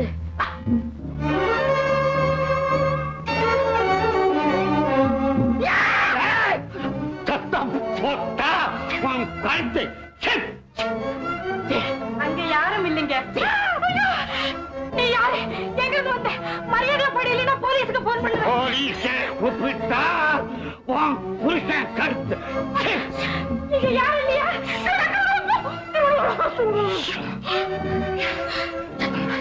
அந்த கத்தி எடுக்க சொல்லு. அவருக்கு வாங்குறத கொடுத்து விடுவோம். அப்படி வா வழிக்கு. நகையெல்லாம் காட்டி கொடுக்க சொல்லு. முதுகுல குத்தியாச்சு. அந்த நகையெல்லாம் எடுத்து கொடுத்துறேன். சும்மா கொடுத்துருமா? பரவாயில்ல கொடுத்துரு கொடுக்க மாட்டியா? கொஞ்சம் இருப்பா. கொஞ்சம். ம். ஜல்தி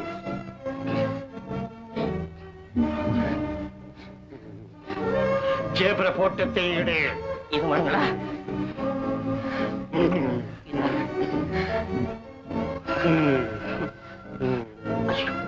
சரோஜா நானும் வரேன் சரோஜா. இரும்பு பொட்டி சாவியை எடு. இரும்பு பொட்டிங்களே இங்க எல்லாம் மர பொட்டி தானே இருக்குது அந்த சாவியையாவது கொடு என்ன நெஞ்சு வழியில வாங்கி நீங்க வாங்கி கட்டிங்க வாங்கி மாறு கொடுத்தா அப்புறம் சாவி கேக்குறீங்க என்ன நீங்க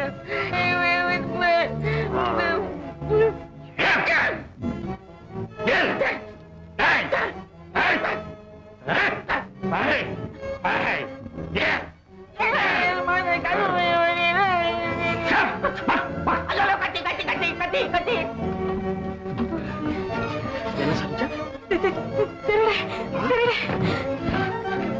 யாரா நீ? ஐயோ இங்க திருட்டு போய் ரவி. நான் தோற திருட திருட. கிட்ட பாருங்க ரவி நான் தான்ப்பா நீங்களா? அப்பா நீங்களா? அப்பாவா? ஆமா மாமாவே தான். மாமாவே. என்னப்பா இது? ஊருக்கு போறேன்னு சொல்லி இவ்வளவு பெரிய கலாட்டா பண்ணிட்டீங்க? மாப்பிள்ளையோட தைரியத்தை சோதிச்சு பார்த்தாம்மா அப்படியா மாமா? நான் கூட மாமான்னு தெரிஞ்சுதான் நகையெல்லாம் அவ்வளவு சீக்கிரம் காட்டி கொடுத்துட்டோம். இல்ல ஜர்ஜா? ஆமா ஆமா. மாமா ரொம்ப பயந்துட்டீங்கல்ல நீங்க? சரி விடுங்க. இந்த கட்ட பக்கத்துல ரெண்டு நாளைக்கு யாரும் வராதீங்க. சரோஜா? என்ன வேற என்ன நடக்கும்? மாமனாருக்கும் மருமகனுக்கும் நடந்த தைரிய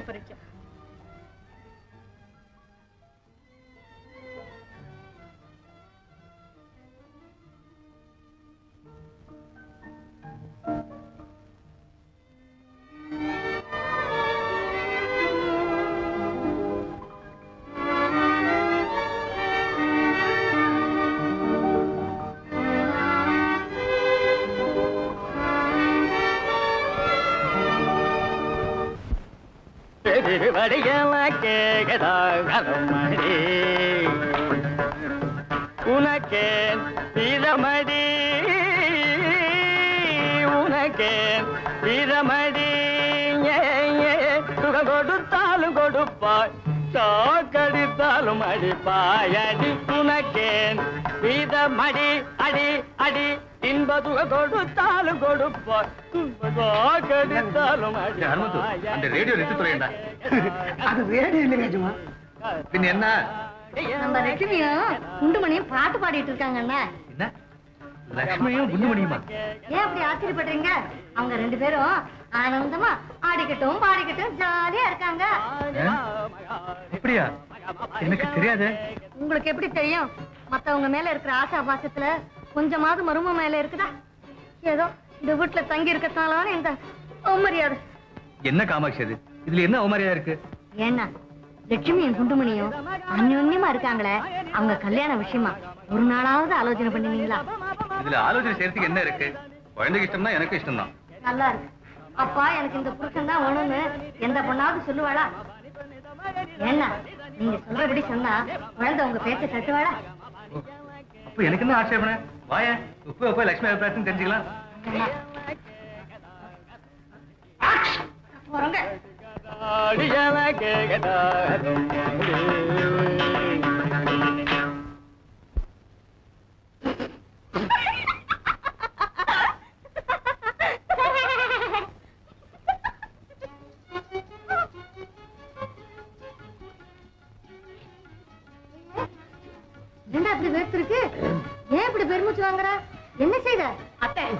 கொலை செய்துட்டார். கொலையா? யாரு? எப்போ? எந்த மனுஷங்க? ஐயா சங்கீத பூஷண ரசிக ரத்னமே நீங்க மனுஷனை கொலை செய்தாலும் பரவாயில்ல. கர்நாடக சங்கீதத்தையே கொலை செய்துட்டீங்க. ஓஹோ.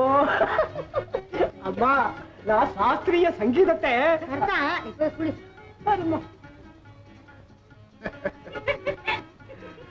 உட்காருமா அஹ், ஏம்மா உன் கல்யாணத்தை சீக்கிரம் நடத்திட்டா நல்லா இருக்கும்னு உங்க அத்தையின் அபிப்பிராயம்? நீ என்ன சொல்ற? நான் என்னப்பா சொல்ல போறேன்? ரவி வந்ததும் உனக்கு என்ன பைத்தியமா? இனிமே அவன் எங்க இங்க வரப்போறான்? அவர் வரலன்னா எனக்கு கல்யாணமே தேவையில்லை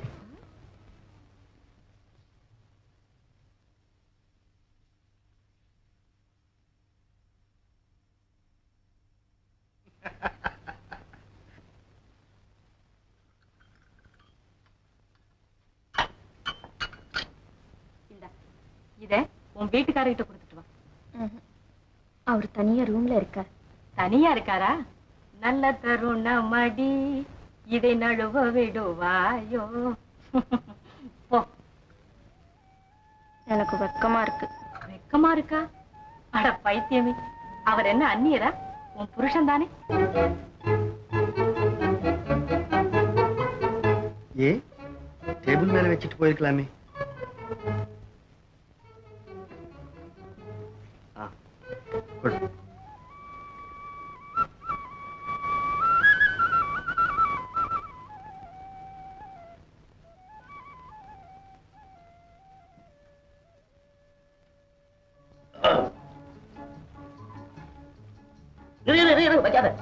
உங்களுக்கு இல்ல ஓஹோ.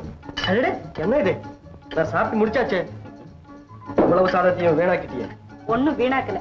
நீங்க வச்சுட்டு போங்க பார்வதி சாப்பிட்டுடுவா. சரோஜா நீ ரொம்ப பழைய காலத்து பொண்ணு. ஒருத்தர் எச்சல் தட்டில ஒருத்தர் சாப்பிடுறது எனக்கு கொஞ்சம் கூட பிடிக்காது. அட அது உனக்கு பிடிக்காம இருக்கலாம்ப்பா. புருஷன் பொண்டாட்டிக்குள்ளார சகஜம். நீ எழுந்து போ. அடடே இது என்னப்பா இது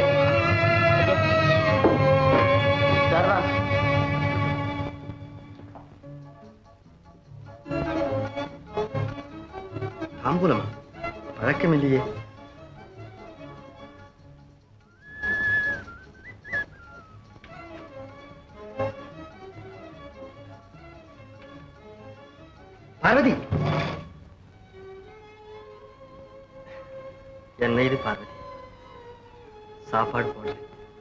காஃபி கொடுக்குறேன் அதெல்லாம் சரிதான். ஆனா இது மாதிரி வேலையை நீ செய்யலாமா? தப்பில்லை.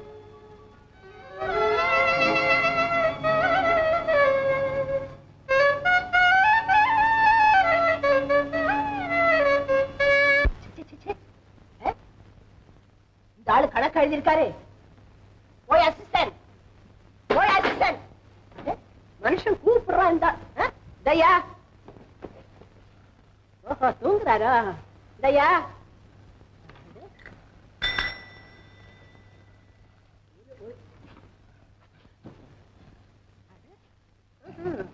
அவ்வளவு பெரிய தூக்கமோ? ஐயாவுக்கு?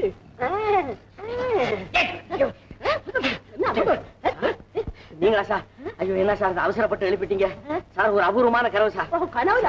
கனவு? உங்களை போல ஒரு திருட்டு பையன் அங்க வந்து தங்க கட்டி எல்லாம் எடுக்கிறதுக்கு வந்தான். அவனை அடி அடின்னு அடிச்சு ஒரே குத்துல ஆறு பல்ல காட்டிட்டான் சார். கொஞ்சம் இருங்க. கடைசியில அவன் என்ன அடிக்கிறான்? அவனை நான் அடிக்கிறான் பாத்துட்டு வந்துடுறேன்? ஆமா இது கனவு காண்ற இடமா? என்ன போட்டீங்க? ஆமா. நீர் என்ன கணக்கா சார்? சரியா இருக்குன்னு சரியா எழுதியிருக்கிறா? எவரியா? வரவு செலவில் எழுதியிருக்கீர் செலவு வரவில் எழுதியிருக்கீர் எல்லாரும் பைசாவை ரூபாய் ஆக்குறாங்க. நீ ரூபாய் கலத்துல போட வேண்டியதை பைசா மன்னிச்சுங்க சார். நீ இன்னும் கொஞ்ச நாள் இங்க வேலைக்கு இருந்தா திவால் ஆக வேண்டியதுதான். மன்னிப்பு நடந்து. மன்னிப்பா. நான் இப்போ மேனேஜர் கிட்ட போய் ரிப்போர்ட் பண்றேன். சார் ப்ளீஸ் ப்ளீஸ் மன்னிச்சுங்க சார். சார் இந்த நிலைமையில என்ன வெளியில அனுப்பிச்சிட்டீங்க. நான் நடுத்தரும் நானே நிக்க வேண்டியது அதுக்கு நான் என்ன செய்யறது? சார் சார் சார் எங்க மாமனார் போனா உங்களுக்கு தெரியாது சார்? ரொம்ப கோபக்கார மனுஷன். உங்க மாமனார் என்னையா செய்திருவாரு? இரு இருங்க இருங்க சார் என்ன? ஐயோ ப்ளீஸ் ப்ளீஸ் நான் என்ன சொன்னேன்? ஐயோ நான் உங்களை ஒண்ணு சொல்றேன் சார். எங்க மாமனாரு நான் வேலைக்கு வந்து போயிட்டு இருக்கேன்னாலே திருப்தி படாதவர் இப்ப நான் வேலையை விட்டு நின்னுட்டேன்னா வெளியே நிக்க வச்சிருவார். சார் மன்னிச்சுங்க சார். Sir sir. என்ன என்ன சார்? என்ன? நான் உங்ககிட்ட ஒரு முக்கியமான விஷயமா என்னுடைய ஓன் மேட்டரா ஃபைவ் மினிட்ஸ் பேசணும். சான்ஸ் தரீங்களா ஓன் மேட்டர் ஆபீஸ்ல தான் பேசுறது.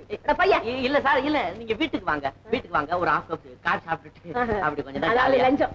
ஐயோ நீங்க என்ன அப்படி நினைக்கிறீங்க? முடியாதியா போய்யா? சார் சார் இன்னைக்கு இல்ல நாளைக்கு வாங்க சார். நாளைக்கு நாளைக்கு நாளைக்கு. சரி பாப்போய்யா சார், சார் அந்த புக்கை கொடுங்க. அதெல்லாம் நான் திருத்தி கொடுத்துறேன் சரி.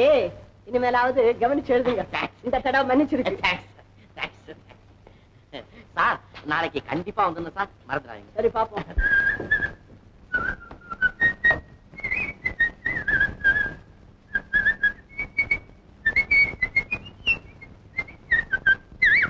முள்ள முள்ள முள்ள முள்ள.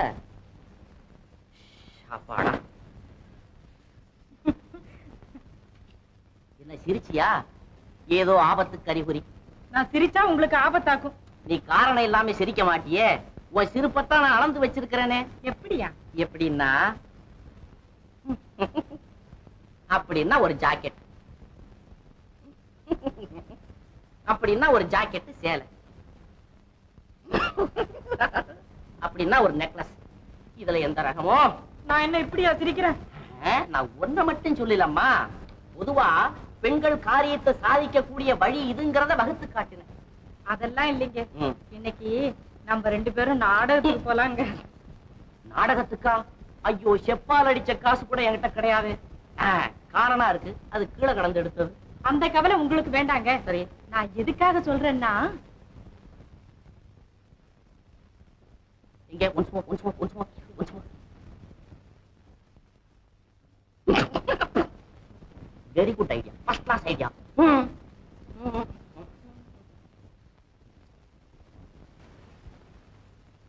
என்ன பார்வதி? எவ்வளவு சொன்னாலும் இங்கேயே உட்கார்ந்துட்டு இருக்க. நீ என்ன பச்சை குழந்தையா? எந்திரி பார்வதி. என்னமோ சரோஜா. எனக்கு பயமாவே இருக்கு. நான் என்ன செய்தாலும் அவர் என்னை விட்டு விலகி போய்கிட்டே இருக்காரு. அவர் விலகி போறதுனால உங்களுக்குள்ள இருக்க பந்த விலகி போயிடுமா? பார்வதி வாழ்க்கைங்கிறது ஒரு அகண்ட சமுத்திரம். சம்சாரங்கிறது அதுல ஒரு படகு. அந்த படகின் துடுப்பு நீ படகோட்டி அவர் உன் உதவி இல்லாம அவர் அந்த படகை செலுத்தவே முடியாது. இத பாரு தைரியமா இருந்து அவர் விலகி போறதுக்கு என்னதான் காரணங்கிறத என்னைக்காவது தெரிஞ்சுக்க. நீங்க இப்பவே வெளியே போறீங்களா? இல்ல இல்ல. உன் புருஷன் வந்ததுக்கு அப்புறம் எல்லா ஏற்பாடுகளையும் செய்துட்டு தான் போறோம். வா.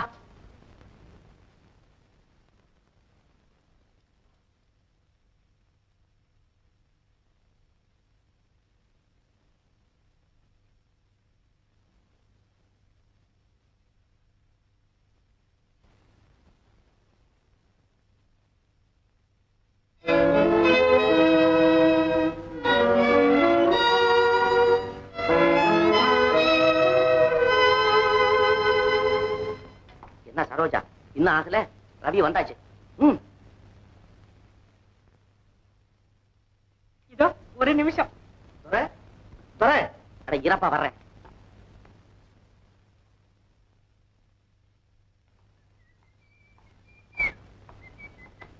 ம்? எங்கே பிரயாணம்? நாடகத்துக்கு போலான்னு உசர வாங்கினா. சரின்னு. ரெண்டு பேருமே போறீங்களா? ஆமா.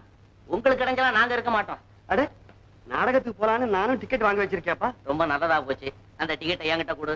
போய் பார்த்துட்டு வந்து கதையை சொல்றேன். சரிதான் போ. எல்லாருமே போலான்னு நாலு டிக்கெட் வாங்கி வச்சிருக்கேன். ரொம்ப ரொம்ப நல்லதா போச்சு. சரிதான் அவங்கள தயாரா இருக்க சொல்லு நான் போய் டாக்ஸி கொண்டாடுறேன். மிக மிக நல்லதா போச்சு. சர்ஜா? சர்ஜா? சர்ஜா? ரவியை கார் கொண்டு வர போயாச்சு. சீக்கிரம் சீக்கிரம். ரொம்ப நல்லா இருக்கு.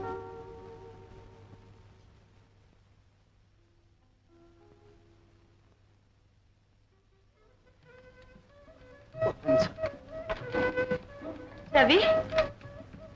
ரவியா வாப்பா வா.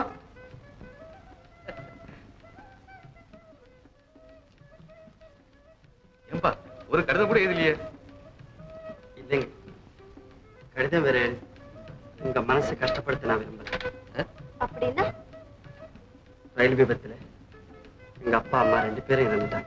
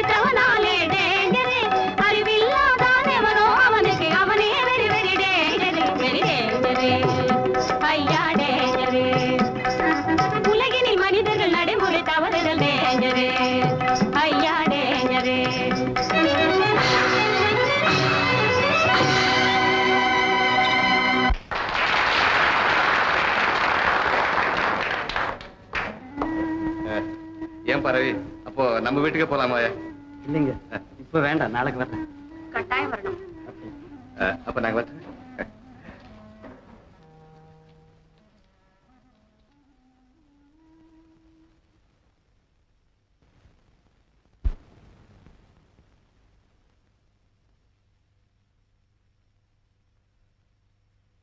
பார்வதி என்ன இது? தவறில்லை? இல்லை. தவறில்லை. உன்னதமான சேவை. மணவாளனுக்கு மனவு செய்ய வேண்டிய பவித்திரமான தொண்டு. இதற்கு கூட நான் அருகதையற்றவளா? ஒரு பெண்ணுக்கு இருக்க வேண்டிய நாணத்தையும் மறந்து நானாக உங்களை தேடி வரும்போதெல்லாம் என்னை விட்டு விலகச் செல்லும் காரணம் தான் என்ன? சொல்லுங்கள். பார்வதி நீ கற்பனையிலே வாழ்கிறாய். இல்லாததை இருப்பதாக எண்ணிக்கொண்டு உன் இதயத்தை பால்படுத்திக் கொள்கிறாய். உன் கன்னத்தில் கண்ணீர் வடிவதை காணும்போது என் உள்ளம் சொல்ல முடியாத வேதனையால் தொடுக்கிறது பார்வதி. இதோ பார். வேறொருவர் பணிவிடையில் வாழ்வதில்லை என்று நான் ஒரு சங்கல்பம் செய்து கொண்டிருக்கிறேன். நான் அந்நிய பெண் அல்லவே. உங்களுடைய மனைவிதானே?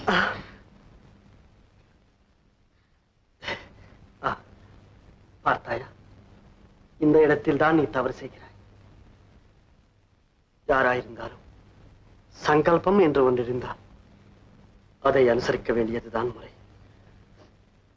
நான் அந்த பாக்கியத்திற்கு கூட அருகதையற்றவளாகிவிட்டேன். ஆனா என் வாழ்வு உங்களிடம்தான் இருக்கிறது. பார்வதி உன் வாழ்வை வண்ணமலர் சோலையாக்கத்தான் நான் இரவும் பகலும் முயற்சி செய்து வருகிறேன். உன் சிந்தனை தவிர இப்போது என் சிந்தையில் வேற எதுவுமே இல்லை. அன்பு பொங்கும் உங்கள் பேச்சில் ஆனந்தமடியும் என் இதயத்தை இத்தனை நாள் நீங்கள் ஏன் புரிந்து கொள்ளவில்லை?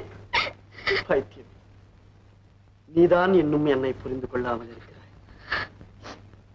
உன்னை போன்ற களங்கமில்லாத அழகு படைத்த கனகச் சிலைகள் எப்போதும் ஆனந்த ஊஞ்சலில் ஆடி மகிழ வேண்டும் என்றுதான் நான் ஆசைப்படுகிறேன். உன் மீது நான் கொண்டிருக்கும் அன்பு பவித்திரமானது. நிர்மலமானது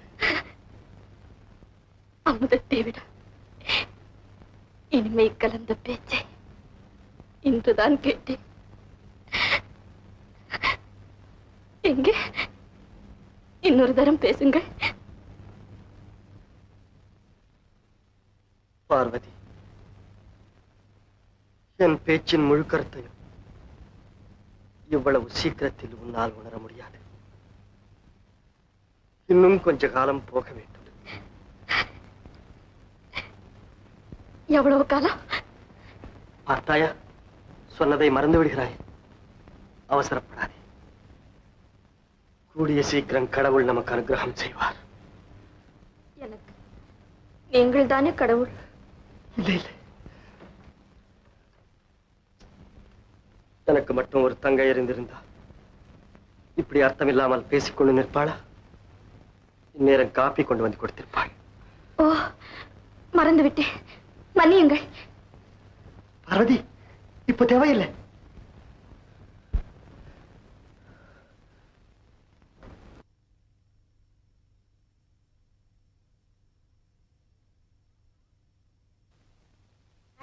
ரவியா பாப்பா. வழி தெரிஞ்சுதா? ஓ வாங்க சார். குட் மார்னிங் சார் வாடா, வேற வேலை இல்ல போடா உங்ககிட்ட இருந்து தபாலோ தபாலோ இல்லாத போக கல்யாணம் கார்த்தி செய்துக்கிட்டோன்னு நினைச்சோம் ஊர்ல அப்பா அம்மா எல்லாம் சவிக்குமா அவங்க அப்பா அம்மா ரயில் விபத்துல சிக்கி செத்து போயிட்டாங்களா அத்தை? என்ன கஷ்டம் என்ன கஷ்டம்? என்ன துரதிருஷ்டம்? யாருக்கு? வேற? அவ ரவி. உட்கார் உட்கார் உட்கார். நீ வருவேன்னு எதிர்பார்த்துக்கிட்டே இருந்தோம். நல்ல சமயத்துல தான் வந்த நேத்து ஏதோ லக்ஷ்மி கல்யாணத்தை பத்தி பேசும்போது அவ என்ன சொன்ன தெரியுமா? ரவி வரலன்னா நான் கல்யாணம் பண்ணிக்காம கன்னியாகவே இருந்துட்டு போறேன்னு சொன்னான் ஆமா. ரவி வந்துடுவார்னு என் மனசாட்சி சொல்லிக்கிட்டே இருந்தது.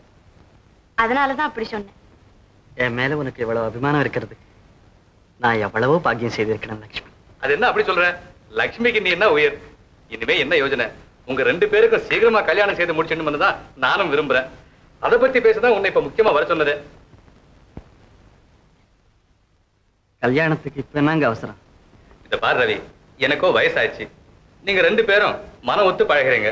அதை பார்த்து சில புறாமக்கார சோம்பேருங்க வீணு வம்பு பேசுறாங்க. எதற்கு இதெல்லாம்? அவ கயித்துல மூணு முடிச்சு போட்டுட்டியானா? ஊர் வாயும் அடங்கும். இது என்ன காமாட்சம்மா திருத்தனமா கேக்குறீங்க?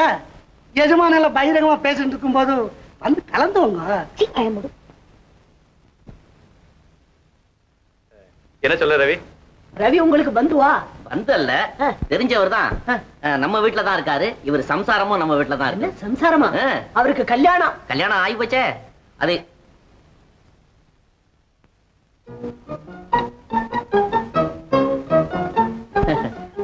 அவங்க தான் அவர் சம்சாரம்.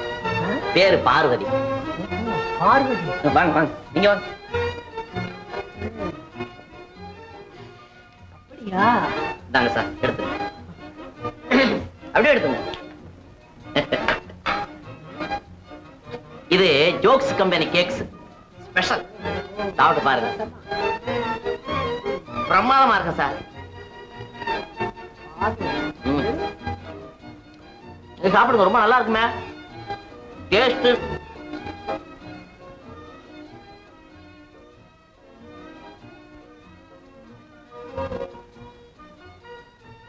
என்ன ரவி பேசாம இருக்கீங்க? உங்க மனசுல ஏதாவது இருந்தா சொல்லுங்க. அப்படி ஒண்ணும் இல்லை உங்க இஷ்டப்பிரகாரமே ஆகட்டும். சுபம் எனக்கு அவசரமான வேலை இருக்கு. போயிட்டு வர்றீங்க. ஆஹா அப்படியே ஆகட்டும்.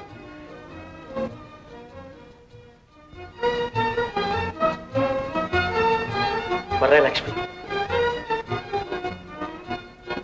ஏம்மா உன் கனவு பழித்ததா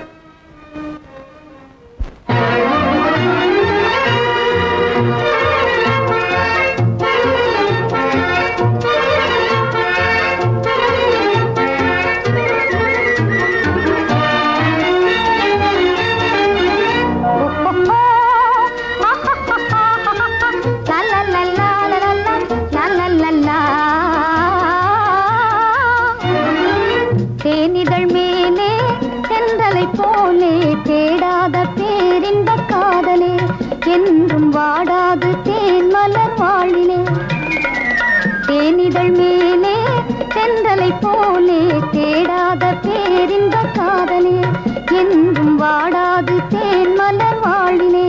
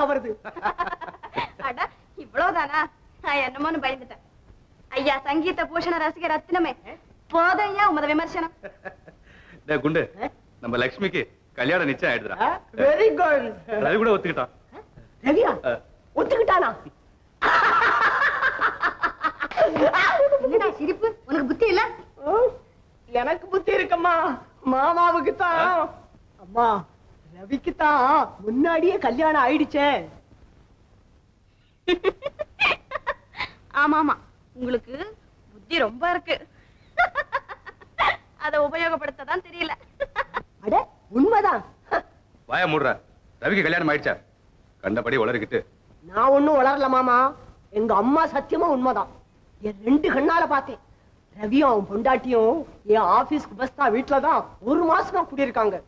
போதும் உங்க பொய்யும் பித்தலாட்டம். ரவின்னா உங்களுக்கு ஆரம்பத்துல இருந்தே வைத்தறிச்சல். என்ன? என் மகன் பித்தலாட்டக்காரனா? கொஞ்சம் நிதானமா பேசு. காமாட்சி நீ இதுக்கெல்லாம் பறிஞ்சுக்கிட்டு வராத. அவன் எவ்வளவு பார்த்து பெண்டாட்டி நினைச்சாரோ ஆ? கிடையாது. ரவியோட பெண்டாட்டி பேரு பார்வதி. நீங்க வேணா என் கூட வாங்க அந்த வீட்டை காட்டுறேன். அந்த கல்யாணத்துக்கு போயிட்டு வரும்போதுதான் ரயில் விபத்துல ரவியோட அம்மாவும் அப்பாவும் செத்து போயிட்டாங்களாம் என் மகன் உயிர் போனாலும் போய் சொல்ல மாட்டான். அவன் கண்ணால பார்த்துட்டு தான் சொல்றான். அப்படி உனக்கு நம்பிக்கை இல்லைன்னா நீயே அவன் கூட போய் பார்த்துட்டு வாயேன் போய் எதுக்கப்பா வீண் சிரமம்? நீங்க போக வேண்டாம். ரவி குணம் நமக்கு தெரியாதா என்ன? இவங்க அவரை பத்தி ஆயிரம் சொன்னாலும் நான் நம்பவே மாட்டேன். அப்ப நாங்க பொய்யா சொல்றோம்?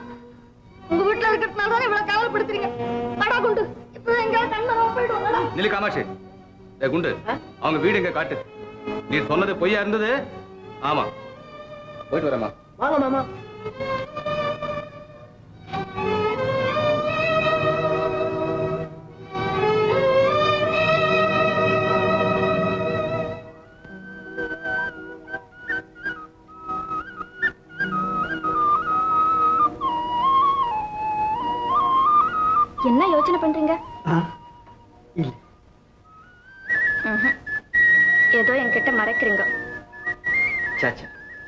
அப்படியெல்லாம் ஒண்ணும் இல்லை பார்வதி இந்த மாதிரி பணிவிடைகள் தான் எனக்கு சந்தோஷத்தை கொடுக்கும் உங்க சந்தோஷம்தான். ஏன் சந்தோஷம்? மாமா இதுதான் ரவியோட பெண்டாட்டி பார்வதி. நான் சொன்னதை நம்ப மாட்டேன்னு சொன்னீங்களே நேர்லயே பாத்துங்கோன்னு அஹ், வணக்கம். வாங்க உட்காருங்க. உன் மரியாதை இருக்கட்டும். நான் கேட்கறது பதில் சொல் இவ யார்? உன் மனைவி தானே ஏன் பேச மாட்டேங்கிற? மத்தவங்க வாழ்க்கை நாசப்படுத்த சாதுரியமா பேசின உன் நாக்கு இப்ப பேசுற சக்தி ஏந்திருச்சா? என் மகளுடைய வருங்காலத்தையே பாழ்படுத்த நீ செய்த சூழ்ச்சி பலிக்கலையேங்கிற ஏமாற்றமா? சொல் நாங்க உனக்கு செய்த தவறு என்ன? களங்கமில்லாத என் மகளை காதலிக்கிறதாக சொன்னதெல்லாம் வெறும் வேஷம் தானா? அவளை கல்யாணம் பண்ணிக்கிறதாக வாக்குறுதி கொடுத்ததெல்லாம் போலி நடிப்பு தானா? உன்னை நம்பியதற்கு நீ காட்டும் நன்றி ஆயுது. நீ ஒரு உத்தமனுங்கிற எண்ணத்துல என் கண்ணையே அர்ப்பணிக்க சித்தமா இருந்தேன். ஆனால் நீ ஒரு நயவஞ்சகனா நாகசர்ப்பமா மாறுவேன்னு நான் கனவுல கூட நினைக்கல. போதும். மன்னிச்சிடுங்க நான் யாருக்கும் எந்த விதமான துரோகமும் செய்தவன் அல்ல ஆனால் என் வாழ்க்கையில் விதி கோரநர்த்தனம் புரிந்துவிட்டது. சந்தர்ப்பம் என்னை ஊமையாக்கி வைத்திருக்கிறது. என் களங்கமற்ற தன்மையை நிரூபித்துக் கொள்ள முடியாத சங்கடத்தில் இருக்கிறேன். நீங்கள் நினைப்பது போல நான் மோசக்காரன் துரோகியம் அல்ல. என்றைக்காவது ஒரு நாள் உண்மை தெரியாமல் போகாது. ஆஹா ஹரிச்சந்திரன் நேருக்கு நேரு பார்த்த பிறகு கூட உன்னை நம்ப முடியும். ரகசியமா ஒரு பெண்ணை கல்யாணம் செய்துகிட்டு இங்க சரசமாடிக்கிட்டு இருக்கிற நீ என் மகளை வேற மழைக்கு அவ கழுத்துல கத்திய சொல்லு நினைச்சிய. படுப்பாவி. நிறுத்துங்க. நீங்க தான் என் கழுத்துல கத்திய சொருக பாக்குறீங்க அவர் என்னை பகிரங்கமா தான் கல்யாணம் செய்துக்கிட்டார் ச்சே, ச்சே. இவன் முகத்துல முழிக்கிறதே பாவம். வாடா போலாம்.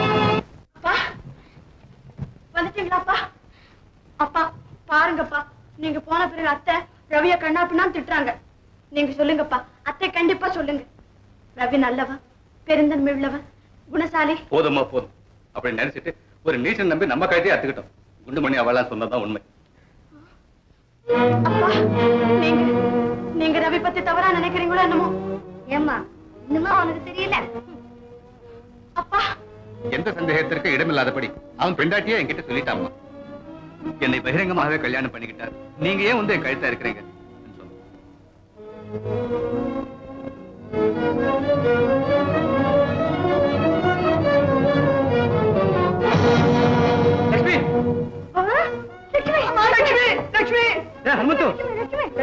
வாங்க மாறி விட்டு போலாம்.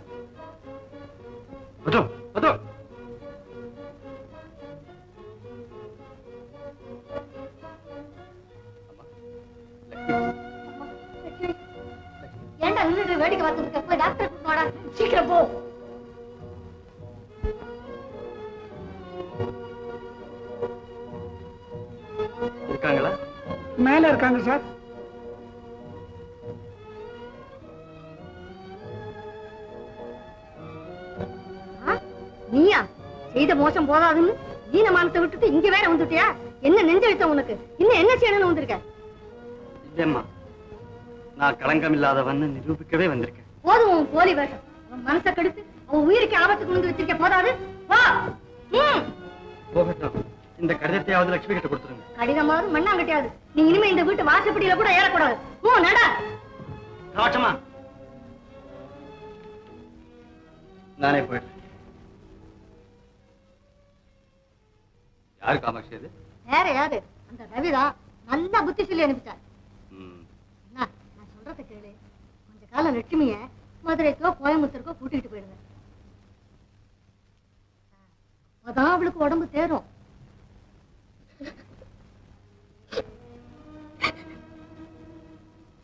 அவருடைய பேச்சும் நடத்தி இத்தனை நாளா எனக்கு அர்த்தமாகாம இருந்தது. இன்னைக்கு தான் புரிஞ்சுக்கிட்டேன். அவர் வேற யாரோ ஒரு பொண்ணு.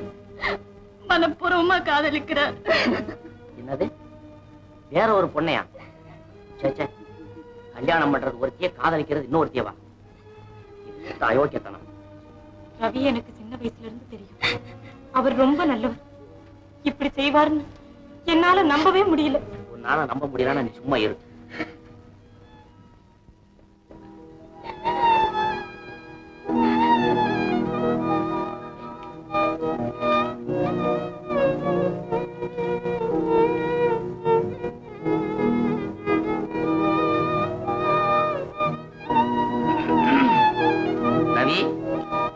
ரவி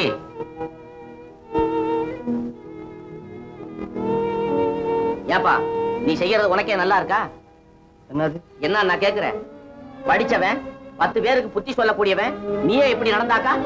கட்டினவன் வீட்டுல இருக்கும் போது இன்னொருத்தைய கல்யாணம் பண்ணிக்க சம்பந்தமா பேசுறேன் அடச்சா வாய மூடப்பா. இந்த பூனையை பாலை குடிக்குமா? நீ போடுற வேஷம் இனிமே பலிக்காது ஒரு பெண் மனசை புண்படுத்தின நீ உருப்படவே மாட்டேன். நான் யார் மனசையும் புண்படுத்தல. யாரையும் ஏமாத்தல. பயங்கரமான பேரிடிகளால் தாக்கப்பட்டு என் உள்ளம் தான் பாடம் பாடமாக வெடிச்சுக்கிட்டு இருக்கு. நீதியையும் தர்மத்தையும் கடைபிடிக்க என்னையே நான் ஏமாத்திக்கிட்டு இருக்கேன். உண்மையை சொல்றேன். இந்த பார்வதி ஆத்திரத்தையும் அவசரத்தையும் ஒன்றையே நீ மறந்துட்டேன். உன் கூட கொஞ்சம் தனியா பேசணும். வா என் கூட.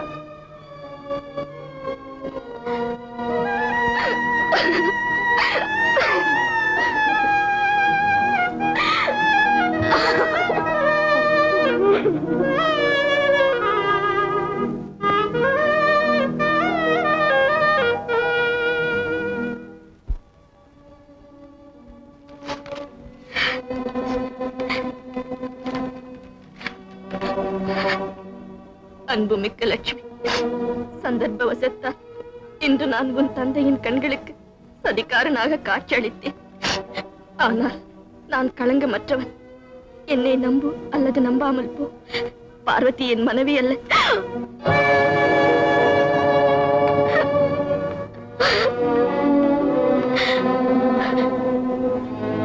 என் பெற்றோர்களின் கட்டாயத்தின் பேரில் நான் ஒரு பெண்ணை மணந்தது உண்மைதான். ஆனால் அவள் பெயர் தேவகி. ரயில் விபத்திலே அந்த அபாகியவதியும் பலியானாள். தொட்டு தாலி கட்டும் போது கூட அவள் திருமுகத்தை நான் பார்க்கவில்லை. காரணம் என் உள்ளம் உன்னை நினைந்து உருகிக் கொண்டிருந்தது. மானசீகமான சூன்ய பிரதேசத்தில் என் கண்கள் உன்னை தேடி அலைந்து கொண்டிருந்தது. பார்வதியும் புதுமணமான புனிதவதி விபத்திலே சிக்கி வெள்ளத்தினால் என் அருகே ஒதுக்கப்பட்டவள். கலையாத அவள் மனக்கோலம் கண்டு அவளை என் மனைவி என எண்ணி என் வீட்டுக்கு அழைத்துச் செல்ல வேண்டிய சூழ்நிலை ஏற்பட்டது. பாதி தவறு முன்னே பார்வதி என் மனைவி அல்ல என்பது புரிந்து கொண்டேன் உண்மையை சொன்னால் அந்த உத்தமி அவமானத்தாலும் நிராசையாலும் தற்கொலை செய்து கொள்ளுவாளோ என்று பயந்தேன். இந்த விஷயத்தை என் அடுத்த வீட்டுக்காரர் மட்டும் சொன்னேன். பார்வதியை அவருடைய ஆதரவில் விட்டுவிட்டு அவளுடைய சுற்றத்தாரை தேடுவதில் முனைந்தேன். ஆனால் நான் எடுத்துக்கொண்ட முயற்சியில் தோல்விதான் அடைந்தேன். இந்த ரகசியத்தை உன் மூலமாக பார்வதிக்கு தெரியப்படுத்த வேண்டும் என்று ஆசைப்பட்டேன். ஆனால் அதற்குள் புயல் வீசிவிட்டது. விதி என் வாழ்வோடு விளையாடி விட்டது இதை தவிர நான் சொல்வதற்கு வேறொன்றுமில்லை. நீ என்னை தவறாக எண்ணக்கூடாது என்பதற்காகவே இது எழுதினேன். உனது ரவி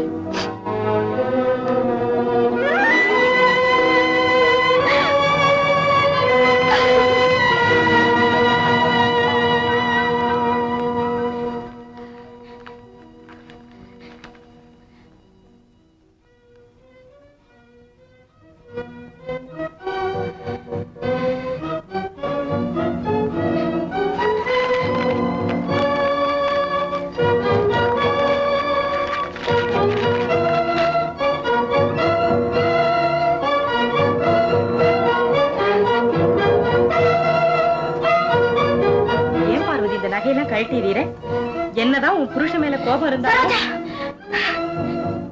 ரவி என் புருஷன் இல்லை. ஆமா எனக்கு இந்த வீட்டில் இனி எந்த ஸ்தானமும் இல்லை. பார்வதி பார்வதி பார்வதி பார்வதி அப்பா அப்பா ரவி!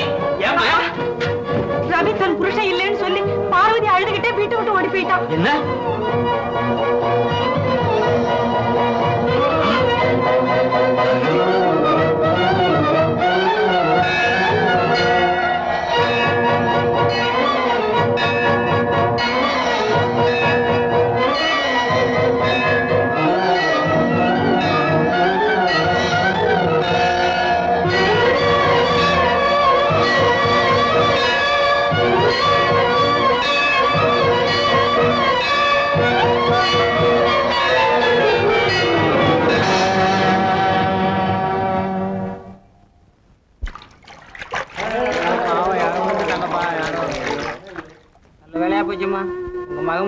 தைரியமா குதிச்சு காப்பாத்தலேனா? என் மகளா இல்லைங்க. நான் ஒரு திக்கில்லாத அனாதை. சாகலாம்னு குளத்துல விழுந்தா என்னை ஏன் காப்பாத்துனீங்க? அப்படி சொல்லாதேம்மா. எவ்வளவு கஷ்டம் வந்தாலும் தற்கொலை பண்ணிக்கலாமா? ஆமா. நீ யாரும்மா? உன் பேர் என்ன? என் பேர? துக்கமா ஆ, துர்கம்மாவா இத பாரு துர்கா உன்னால தான் நான் பொழைச்சேன் உனக்கு ஒரு கஷ்டம் வராம நான் பாத்துக்கிறேன் என் கூட வாமா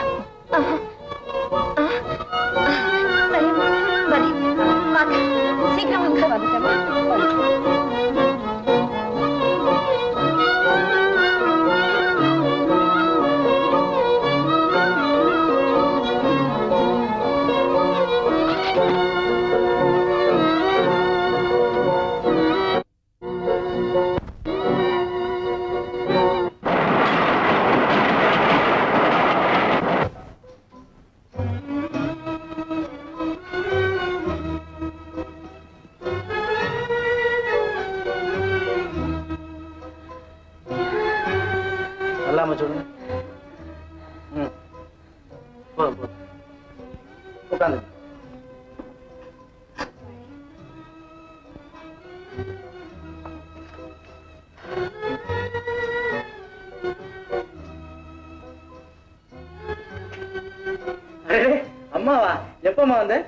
இப்பதாண்டாப்பா வரேன். முருகா இந்த பொண்ணோட புண்ணியத்துல பிழைச்சு வந்திருக்கேன் இவ இல்லன்னா உனக்கு தகவல் சொல்றதுக்கு கூட ஆள் இல்லாம அந்த குளத்திலேயே செத்து இருப்பேன் குளத்துல செத்துருப்பீங்களா? என்னம்மா அது? அதை ஏன் கேக்குறே போ? பட்டணத்துக்கிட்ட ஒரு குளத்துல கால் சரிக்க விழுந்துட்டேன். அப்ப இந்த பொண்ணு சட்டுன்னு குதிச்சு என்னை காப்பாத்தினாப்பா. அப்படியா? நல்ல காலம்மா. ரொம்ப தேங்க்ஸ் உங்களுக்கு நான் எப்படி நன்றி சொல்றதுன்னே தெரியல. இவங்க யாரும்மா? ஒரு துர்பாகியசாலி. தன்னுடையவங்கன்னு சொல்லிக்க இந்த உலகத்துல ஒருத்தரும் இல்லையா? புருஷன் எங்க இருக்கான்னு கூட தெரியாதாம் பாவம் நல்ல பொண்ணு. நிர்கதியா தவிக்கிறான் என்னமோ எனக்கு கூட மாட ஒத்தாசையா இருக்கட்டுமேன்னு கூட்டிகிட்டு வந்துட்டேன்ப்பா. சார் நீங்க தானே டாக்டர் சார் ஆமா. எங்க எஜமா உங்களை அர்ஜென்ட்டா கூட்டிட்டு வர சொல்லிருக்காங்க யாரப்பா உங்க எஜமா? ரிட்டையர் கலெக்டர் ரங்கநாத்துங்க பட்டணத்துலேருந்து வந்திருக்கோம். அவங்க பொண்ணு மயக்கம் வந்துட்டாங்க. கொஞ்சம் சீக்கிரம் வர்றீங்களா?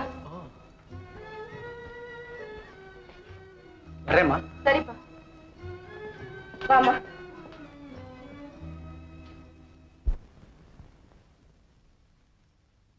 ஐயோ கர்மமே. பாத்தியாடியம்மா இந்த வீட்டை. ஐயோ நான் ஒரு பத்து நாள் இந்த வீட்டுல இல்லைன்னா இத்தனை அலங்கோலம். இனிமே நான் தான் இருக்கிறேன். இருக்கிறது சரிம்மா. அதுக்கு நான் சொல்லல. வீட்டுல ஒரு சுமங்கல் இருந்தா இப்படி ஆகுமா? இத சொன்னாதான் அவனுக்கு மூக்கு மேல கோபம் வருது. காலாகாலத்துல ஒரு கல்யாணத்தை பண்ணிக்கிடான்னு நான் கெஞ்சாத நாள் கிடையாது. அவன் காதுல போட்டுக்கிட்டாதானே சொத்து சுகம் அந்தஸ்து படிப்பு எதுல குறைச்சல்? அவ ஏன் இப்படி பிரம்மச்சாரியா காலம் தள்ளணும்? நீயே சொல்லு. என்னடிமா எல்லாத்துக்கும் ஊங்குற சரி சரி. வா. இத பாத்தியா? இந்த படுக்கையில இருக்கிற லட்சணத்தை. ஐயோ ராமா ராமா. இந்த. இதெல்லாம் எடுத்து? இந்த சனியம் பிடிச்ச போட்டோ இன்னுமா இங்க இருக்கு? இத துர்கா இத தூர எரி இந்த. எரியவம்மா ஆமாண்டி அம்மா ஆமா. என் குடிய கெடுத்த போட்டோ இது. இதுல சேகருக்கு பக்கத்துல இன்னொருத்தன் இருக்கானே அவன் தங்கையத்தான் இவன் கல்யாணம் பண்ணிக்கிட்டானா. வரும்போது ரயில் விபத்துல அவளும் அவளோட அண்ணனும் செத்துட்டாங்களாம். அதுல இருந்து தங்கமா இருந்த என் புள்ள மனதே மாறி போச்சுமா மாறி போச்சு. நான் என்ன ஆ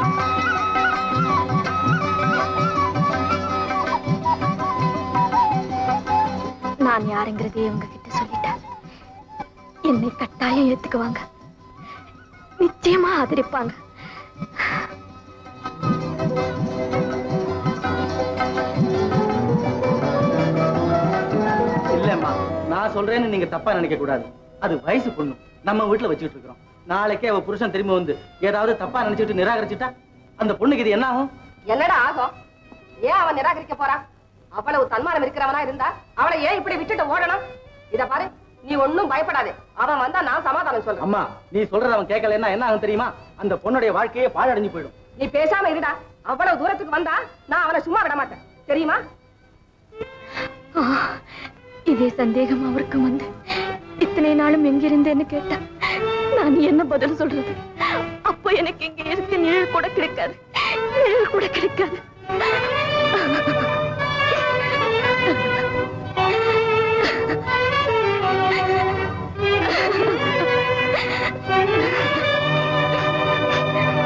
அங்க குட் ஈவினிங் ரவி.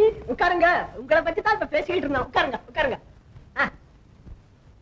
நீ எதுக்கா அப்பா இங்க வந்த? ஒண்ணுமில்ல. லட்சுமி அட்ரஸ் ஏதாவது ஓ தெரிஞ்சா அட்ரஸ் தானே? அம்மா நமக்கு எப்படி தெரியும்? ஓ ஆமா ஆமா. அது தெரியாது தெரியாது. எங்களுக்கு ஒண்ணுமே தெரியாதப்பா. லட்சுமி மனசு சரியா இருக்கு அவங்க எங்கெங்கெல்லாம் அலையறாங்களோ. அட்ரஸ் தெரிஞ்சா நானாவது போய் பார்த்து ஏதாவது உதவி செய்யலாம்னு தான் கேட்டேன். என் சொந்த நலனுக்காக கேட்கலம்மா. ஆ, உடைஞ்சு போன மண் கூடத்தை என்ன செய்யறது? போனது போகட்டும்னு நம்ம லட்சுமி மறந்துட்டு நீயாவது சுகமா இருப்ப. அப்ப நீ போயிட்டு வரியாப்பா?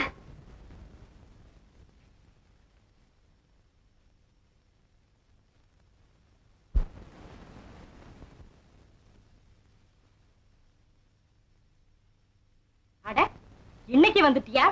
திருட்டு நாயே. இரு இரு. இன்னைக்கு ரெண்டுல ஒண்ணு தீர்த்து கட்டிடுறேன். நான் கத்திக்கிட்டே இருக்கேன். நீ உள்ள வந்துகிட்டே இருக்கியா? இரு இரு. இன்னைக்கு உன் காலை உடைச்சு அடுப்புல வைக்கிறேன். எங்க அந்த கம்பு? என்ன சரிஜாது என் காலை உடைச்சு அடுப்புல வைக்க போறேன். என் விறகெல்லாம் தீந்து போச்சா? அட நீங்க ஒண்ணு. அத பாருங்க அந்த நாய் பூஜை வேலையில நுழையுது. நான் எப்ப பூஜை செய்ய உட்கார்ந்தாலும் சரி நான் சமைச்சு வச்சிருக்க பாத்திரத்தை சுத்திக்கிட்டே இருக்கு. ஓஹோ இன்னைக்கு நீ தானே சமையல் பண்ணி வச்சிருக்க? ஆமா. ரொம்ப நல்லதா போச்சு. உன் சாப்பாட்டை அந்த நாய் சாப்பிட்டுட்டு உசுரோட வரும் நீ நினைக்கிறியா? என்ன சொன்னீங்க? இரு இரு இரு. அது வரட்டும் நான் கவனிச்சுக்கிறேன்னு சொன்னேன். இப்ப நீங்க விரட்ட போறீங்களா இல்லையா? இது என்னடா அது தொல்லையா போச்சு? இதுக்கு முன்னால எங்க அப்பா முனிசிபாலிட்டில நாயை அடிச்சுக்கிட்டு இருந்தான். சரி இன்னைக்கு ஒரு நாளைக்கு ட்ரை பண்ணி பாக்குறேன்.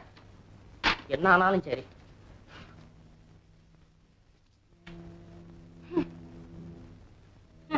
ஒரு நாய் அடிக்க முடியல. வாய பாருங்க. சும்மா இரு. சத்தம் போட்டா அது ஓடி போயிடும். நாலு வீடு கட்டி அடிக்க வேணா பெரிய கொத்தனாரு. நாலு வீடு கட்டுறாரு.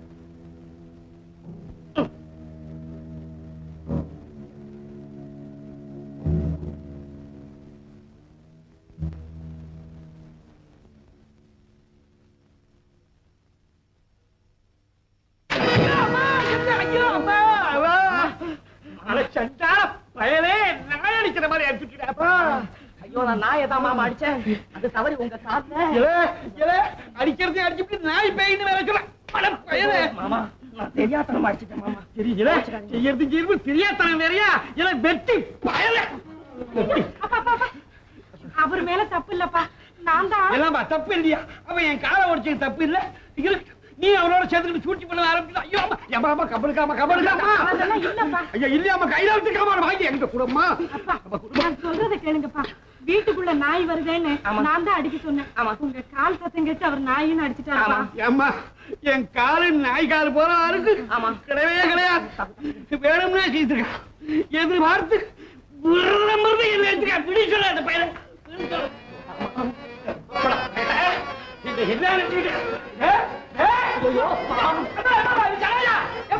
கொல்லாமா? கொல்லாமா, கொல்லாமா? ஐயா,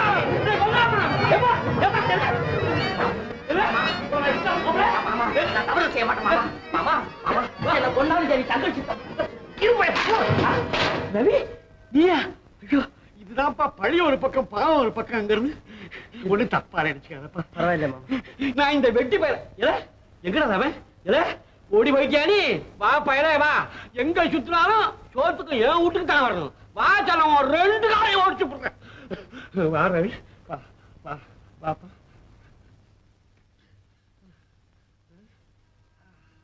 கருப்பா கருப்பா. ரவி நீ எப்படி இருந்தவன் இப்படி ஆயிட்ட. நீ படிச்சவன். புத்திசாலி. உனக்கு நான் என்னத்த சொல்றது? பழச மறந்துட்டு சந்தோஷமாகிறது எப்ப பார்த்தாலும் எதை எதையே நினைச்சு வேதனைப்பட்டுக்கிட்டு இருக்கிறது பிரயோஜனம். என் சொந்த சுகத்துக்காக நான் வேதனைப்படலை மாமா காரணம் இல்லாம ஒரு பக்கம் லட்சுமி மனசை நோகச் செய்து இன்னொரு பக்கம் பார்வதியை அவ புருஷனோடு சேர்க்க முடியாம போயிட்டு.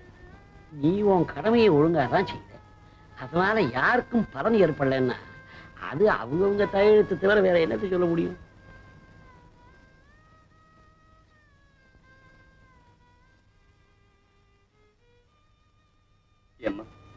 இப்படிமா இருக்கு?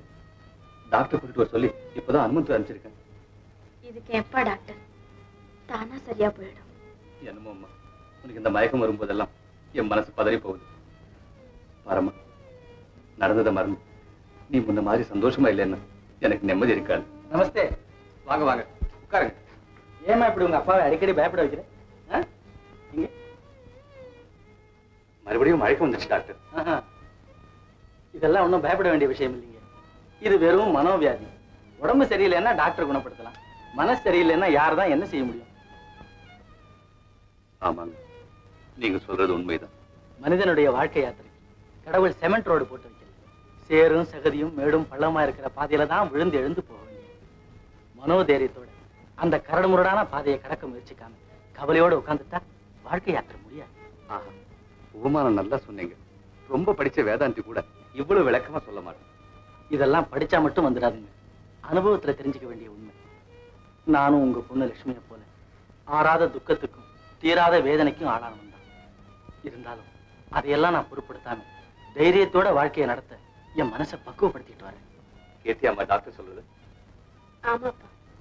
அவர் கொடுக்கிற மருந்தை விட அவர் பேச்சுதான் என்ன ரொம்ப குணப்படுத்துது. டாக்டர் நடந்ததை மறக்க இனிமே நான் முயற்சி செய்யறேன். ரொம்ப சந்தோஷமா நான் வர்றேன். வர்றேம்மா.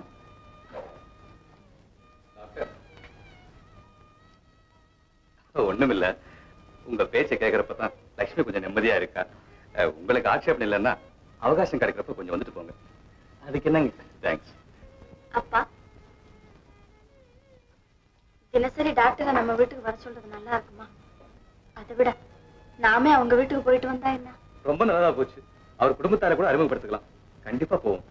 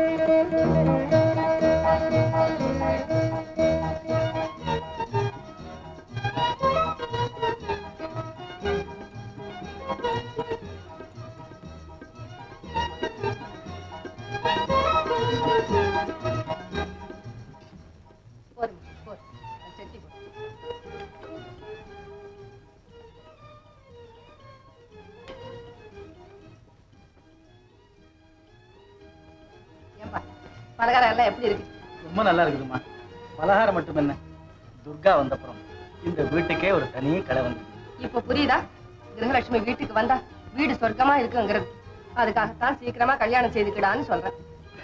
என்னம்மா கல்யாணம் செய்துக்கிட்டா மட்டும் துர்கா மாதிரி ஒரு மாணிக்கம் உனக்கு மருமகளா கிடப்பான்னு என்னம்மா நிச்சயம் இப்படிப்பட்ட மருமக தான் வரணும்னு நான் எல்லா தெய்வத்தையும் வேண்டிக்கிட்டு இருக்கேன்ப்பா. உன் பிரார்த்தனையில சுயநலம் இருக்கக்கூடாதும்மா முதல்ல இந்த பொண்ணுடைய புருஷன் திரும்பி வரணும். அவ வாழ்வு மறுமலர்ச்சி அடையணும்னு பிரார்த்தனை செய். அதுவும் தான் வேண்டிக்கிட்டு இருக்கேன். என்னமோ அது நல்லா இருந்தா அதுவே போதும்.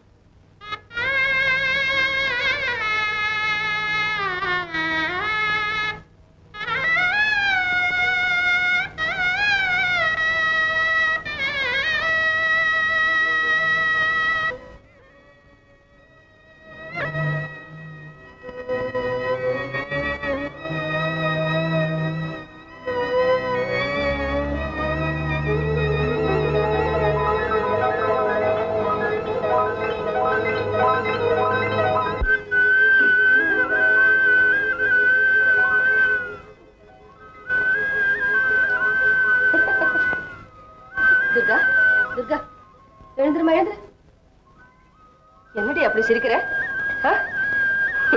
உன் புருஷன் கனவுல வந்தானா என்ன?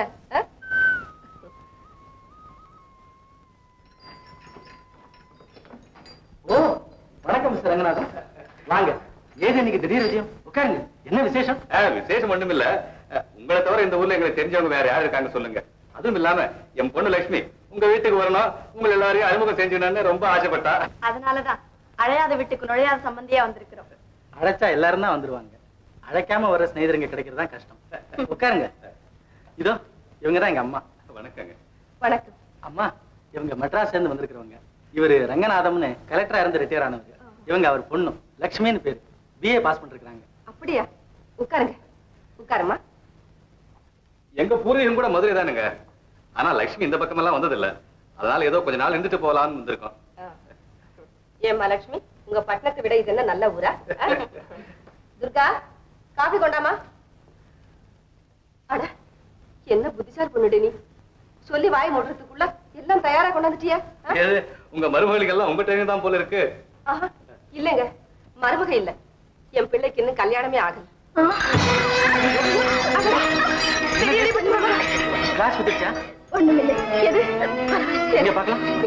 காயம் பட்டிருக்கே ஏன், ஏற்கனவே பட்ட காயம்தான். பட்ட இடத்துலயே மறுபடியும் பட்டுக்கிட்டு இருக்கு துர்கா எங்க பார்க்கலாம்?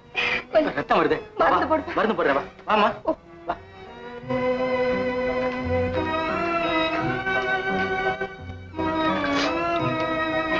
எங்க?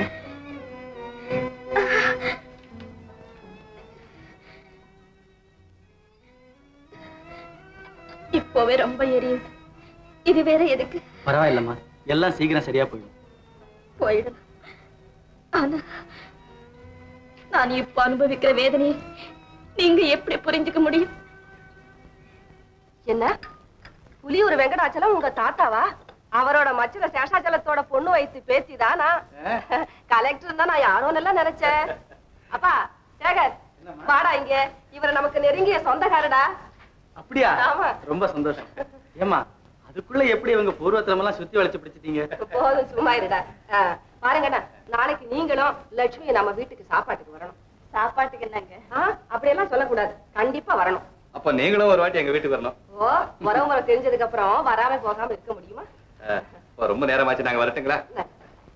போயிட்டு வணக்கம். பாருங்கண்ணா மறந்துடாதீங்க. நாளைக்கு கண்டிப்பா வரணும். சரி. ஆமா மறந்துடாதீங்க. ஏன்னா உங்க புண்ணியத்துல எனக்கு கொஞ்சம் விருந்து சாப்பாடு கிடைக்கும். அப்படியே? வரேங்க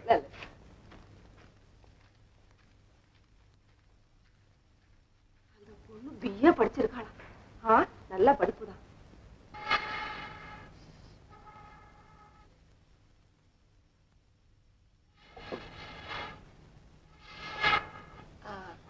துர்கா அந்த பொண்ணு லட்சுமி எப்படி இருக்கா? அழகாத்தான் இருக்கா? பிஏ கூட படிச்சிருக்காளா அந்த பொண்ணை நம்ம சேகருக்கு கல்யாணம் பண்ணி வச்சுட்டா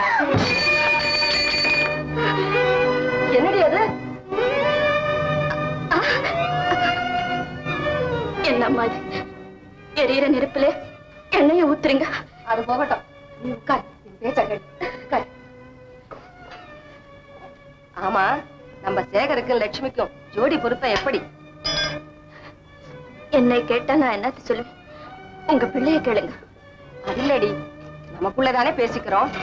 வீடு ஜோடு குலம் கோத்திரம் அந்தஸ்து எல்லாம் ரெண்டு பேருக்கும் பொருத்தமா இருக்கு.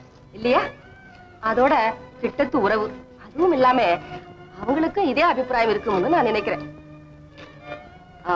நான் விருந்துக்கு அவங்கள கூப்பிட்டதே இதுக்காகத்தான். இத பாரு நீ என்ன செய்வியோ என்னவோ. சமையல் நல்லா இருக்கணும். எதுவானாலும் சரி இந்த சம்பந்தத்தை விட்டுடக்கூடாது. நீங்க இருக்கிறது காய்கறியா என் கழுத்தையா? சிவ சிவா என்னடி அம்மா அப்படி சொல்றேன்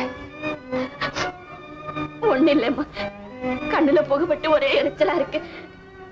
தயவு செய்து என்ன ஒண்ணு கேட்காதீங்க. இல்ல. போகட்டும். வீட்டு வேலை எல்லாத்தையும் உன் தலையில தூக்கி போட்டுக்கிற சொன்னாலும் கேட்க மாட்டேன். என்னமோ போ.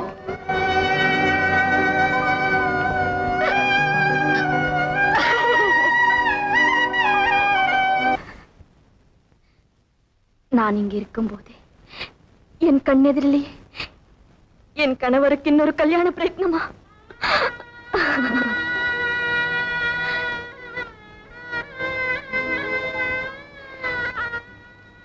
உடனே புறப்பட்டு வந்து என் வாழ்வை நிலைநிறுத்தும்படி முத்தண்ணாவுக்கு ஒரு கடிதம் எழுதினால் எழுதுவேன். அம்மா துர்கா.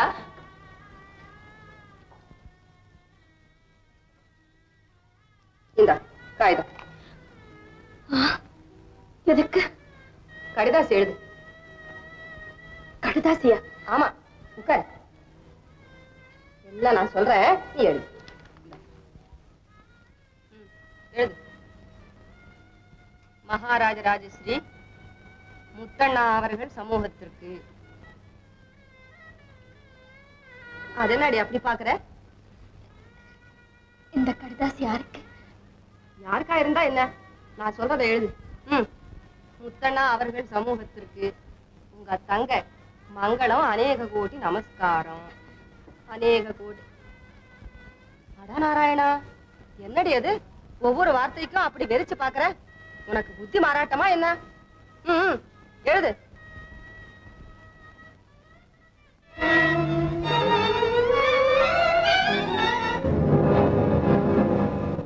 இன்னைக்கு என்ன வந்தது உனக்கு? கையில சக்தி இல்ல? காகிதத்தை விட்டுட்டியே. கை நழுவி போச்சம்மா நான் என்ன செய்வேன்? சரி சரி. இருந்த ஒரு நம்பிக்கையும் இந்த காகிதத்து போலவே கை தவறி போச்சு. முத்தண்ணா இவங்களுக்கு சொந்தக்காரரா இருக்கிறப்போ எனக்காக எப்படி பரிந்து பேசுவார்? இந்த.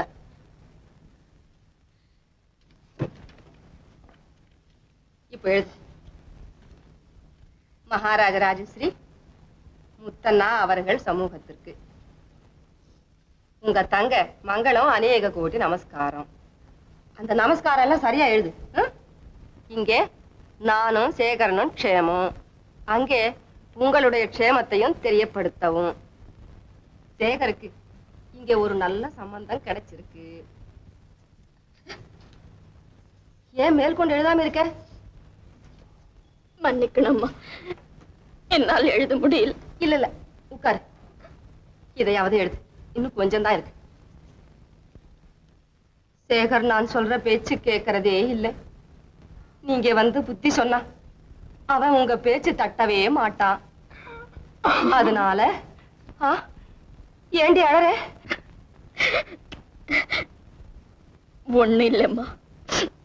காலையில இருந்து என்னமோ நெஞ்சு வலி தாங்க முடியல. அப்படியா? சேகர் கிட்ட சொன்னா அதுக்கு ஏதாவது மருந்து கொடுத்திருப்பானே? மருந்து எதுக்கம்மா அதுவா போயிடும். சொல்லுங்க எழுதுறேன். ஆ. ஆகையினால இந்த கடிதாசு பார்த்ததும் உடனே புறப்படவும் இப்படிக்கு உங்க தங்க மங்களம். எல்லாம் சரியா எழுதிருக்குல்ல? சரி. அட்ரஸ் என்னன்னு கேட்டுக்கிட்டு போஸ்ட்ல போட சொல்றேன்.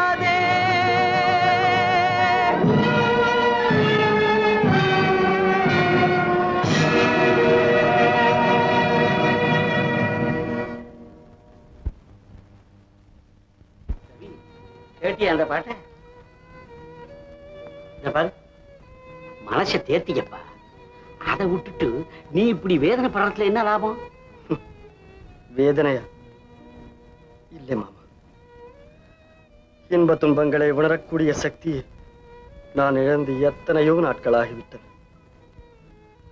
என் மனம் ஒரு கற்பாறையாகிவிட்டது அப்படியெல்லாம் பேசாத ரவி கொஞ்சம் பிரயத்தனம் செய்தா உன்னை யோக்கியன்னு நிரூபிச்சுக்க உன்னால முடியும்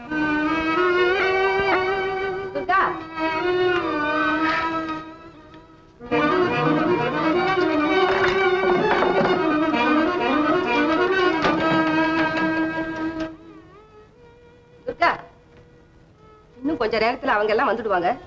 சாப்பாடு எல்லாம் தயாராயிடுச்சா ஏன் அப்படி இருக்க? இரு நான் தலைவாரி விட்டேன் உங்களுக்கு எதுக்கம்மா அந்த சிரமம்? அதுக்கு இல்ல. இன்னைக்கு என்னமோ என் கையாலேயே உனக்கு தலைவாரி சிங்காரிக்கணும்னு ஆசையா இருக்கு. இரு. என் முகத்துக்கு அலங்காரம் ஒண்ணுதான் குறைச்சல். பைத்தியக்கார பொண்ணுடி நீ. வா. உட்கார். உன் அழகு உனக்கு தெரியாது. உன்னை அலங்காரம் பண்ணி நிறுத்தினா உன் முன்னாடி அந்த பொண்ணு லட்சுமி குத்து விளக்க எதிரில மின்மினு பூச்சி மாதிரி. தெரியுமா? என்ன லாபம்? என்ன லாபமா? கொஞ்ச நேரத்துல பாரேன் அந்த பொண்ணு லட்சுமிக்கு தான் ரொம்ப அழகானவ படிச்சவன்னு கர்வம் இருக்கு. இன்னைக்கு அவங்க வர்றாங்கல்ல நீ அலங்காரம் பண்ணிக்கிட்டு மகாலட்சுமி மாதிரி மங்களகரமா இருந்தா அந்த பொண்ணு கர்வம் தானா அடங்கி போயிடும். அவளுக்காகத்தான் என்னை பொம்மையாக்கி அலங்காரம் செய்ய நினைக்கிறீங்களா? நான் செய்யறது என்ன உன்னை தங்க பதுமையா அந்த பகவானே படைச்சிருக்காரே. எது?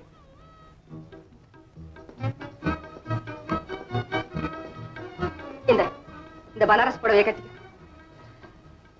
எனக்கு எதுக்கம்மா பட்டும் பனாரஸ் உங்க மருமக வந்து தரலாம் பத்திரமா இருக்கட்டும். மருமக வந்தா புதுசு வாங்கி தர்றேன். உன்னை விட இன்னொருத்த எனக்கு வசதியா என்ன? ஆமா. இந்த இந்த புடவை கட்டிக்கமா.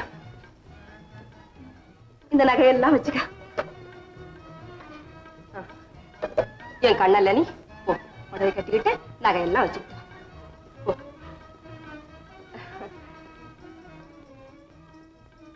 அப்பா நான் ரெடி ஆயிட்டேன். ஏது? டாக்டர் வீட்டுக்கு ரொம்ப சீக்கிரம் புறப்படுறியே அங்க போய் நாலு பேரோட பேசிக்கிட்டு இருந்தா நிம்மதியா பொழுது போகுது. ஆ, போகட்டும். அப்படியாவது டாக்டர் வீடு ஒண்ணு காந்த மாதிரி இழுக்குது. ஆ, அதுவும் நல்லதுதான் போலாமா வீடு ஜாகிரதை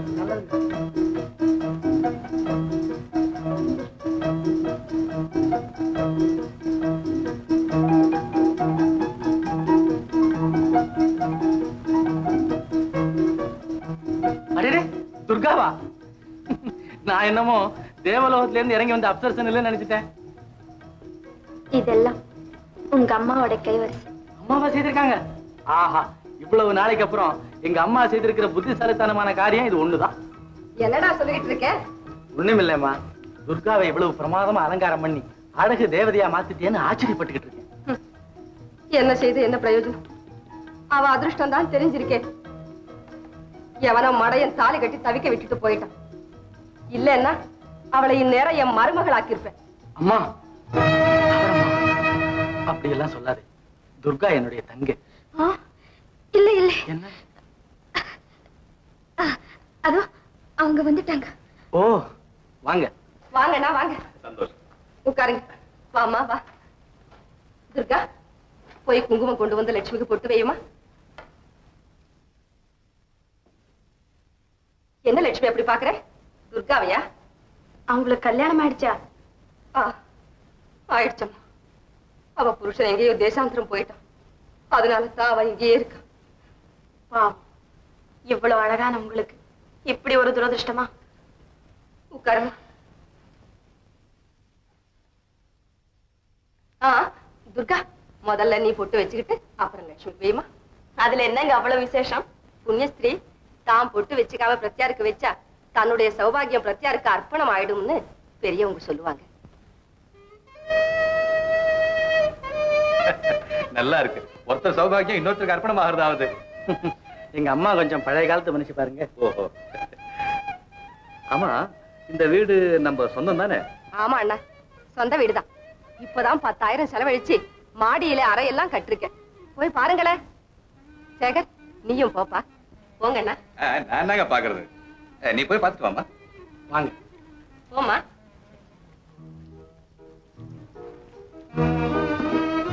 போலாமே? நீங்க போங்க முதல்ல. பரவாயில்ல லேடிஸ் ஃபர்ஸ்ட் ஓஹோ.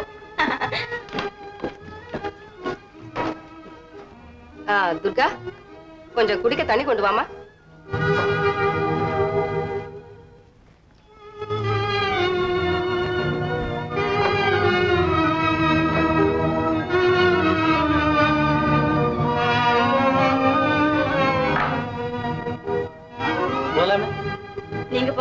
பரவாயில்ல லேடிஸ் ஃபர்ஸ்ட்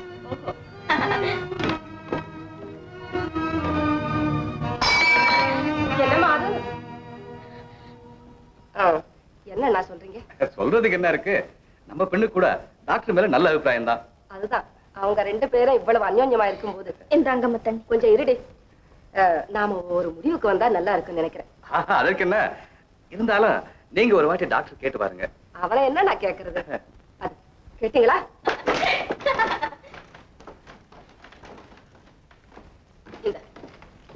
நீ போய் சாப்பாடு எல்லாம் தயாரா வேமா? நேரமாச்சு.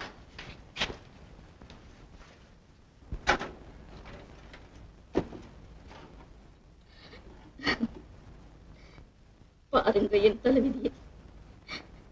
வேறொருத்தரை புருஷனா நினைச்சு சேவை செய்தது சொந்த புருஷன் வீட்டிலே வேலைக்காரியா இருந்து தொண்டு செய்தது என் வாழ்க்கையிலே தவிர வேற யாருக்காவது ஏற்பட்டிருக்குமா?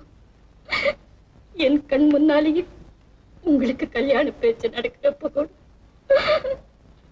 நான் ஓமையா இருக்கிறேனே என் உள்ள குமுறல நான் யாருக்கிட்ட சொல்ல முடியும்? சொல்லுங்க.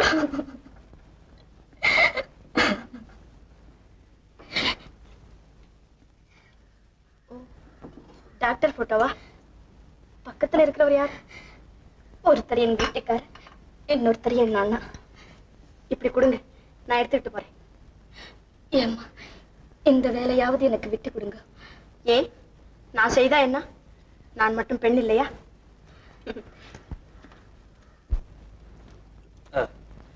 அப்பா சாப்பாடு ரொம்ப பிரமாதம் டாக்டர்.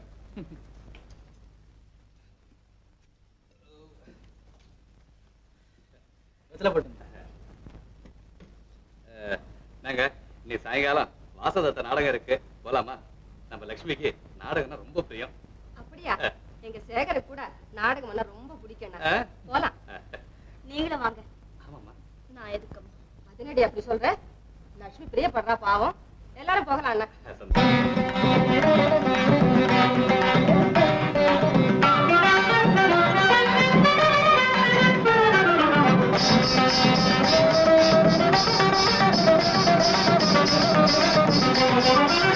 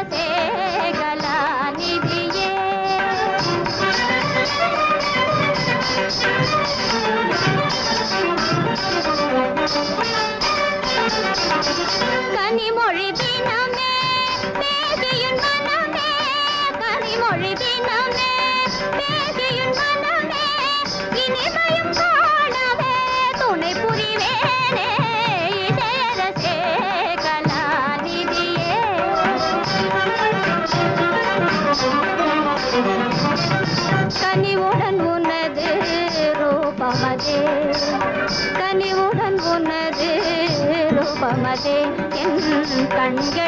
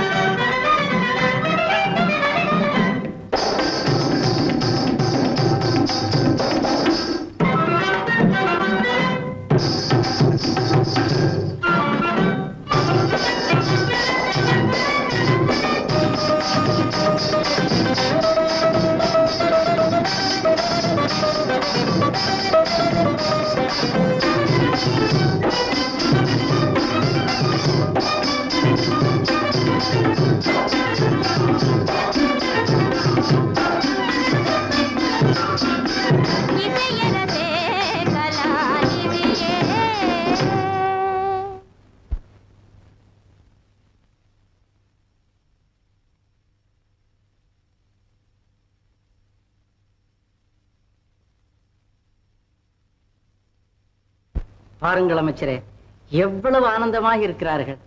இவர்களுக்கா பிரிவின்னும் பிரம்மாஸ்திரத்தை துடுக்கப் போகிறீர்கள்? தவிர்க்க முடியாத நிலை நண்பரே.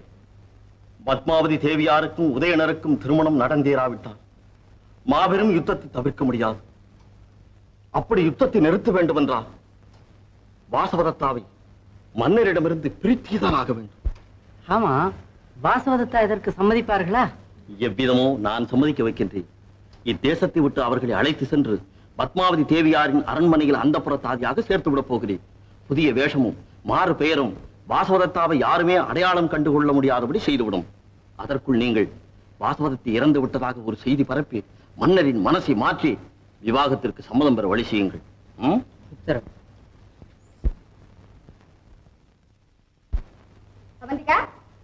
அவந்திகா? என்ன மாதவி? அந்த புறத்துல ஆனந்தமும் சந்தோஷமும் பொங்கி எழும் இந்த நேரத்தில் தாங்கள் மட்டும் இங்க இருக்கிறீர்களே பத்மாவதி தேவியை மணமுறிய உதயன மகாராஜா வந்து விட்டார்.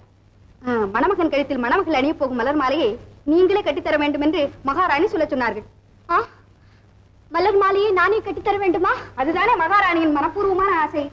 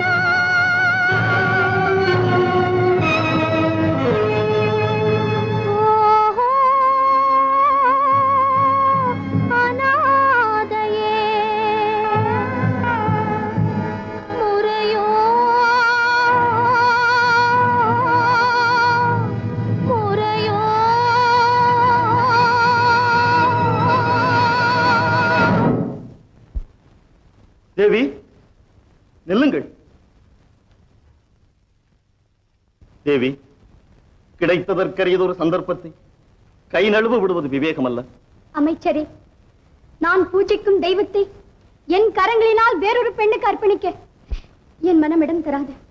எனக்கு தெரியும் தேவி தெரிந்தேதான் இந்த சாகசத்திற்கு உடன்பட்டேன்.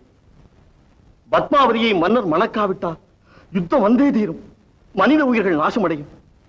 அதை தடுக்கவே உங்களுக்கு அஜ்ஞாதவாசம் மன்னருக்கு திருமணம். நான் ஒரு மகாராணி மட்டுமல்ல. சாதாரண பெண் கூட என்பதை நீங்கள் மறந்து விடாதீர்கள் அமைச்சரே. என் உயிருக்கு அதிபதியும் உள்ள கோவிலின் தெய்வமாகி என் கணவனோடு வாழவும் இன்பம் காணவும் அவருக்கு பாத பூஜை செய்யவும் பாக்கியம் பெற்ற பெண் ஜென்மம் வேண்டானே என் கரங்களால் என் மணவாளனை மற்றவர்களுக்கு அர்ப்பணம் செய்வது பெண் வர்க்கத்திற்கே களங்கம் அல்லவா? அந்த கேவல நிலைக்கு அவசரப்பட்டு முடிவுக்கு வந்து விடாதீர்கள். ஆலோசனை செய்து பாருங்கள். கணவனுடைய க்ஷேமத்திற்கும் புகழுக்கும் பெருமைக்கும் தன் காதலை மட்டுமல்ல தன் உயிரையே தியாகம் செய்ய தயங்க மாட்டாள் பண்புமிக்க பாரத பெண் அப்பண்பு மாறாது நடப்பவள் எவளோ அவளே மாதர்குல மாணிக்கம். அம்மாணிக்கங்களில் ஒன்றாக தாங்கள் விளங்க வேண்டும் என்பதே எனது தாழ்மையான வேண்டுகோள். ராஜகுமாரி பத்மாவதி தேவியை மன்னர் மணக்க தாங்கள் சம்மதிக்கத்தான் வேண்டும். பாருங்கள். அமைச்சரே இதற்கு வேறு எந்த வழியும் இல்லையா? இல்லை அம்மணி இல்லை.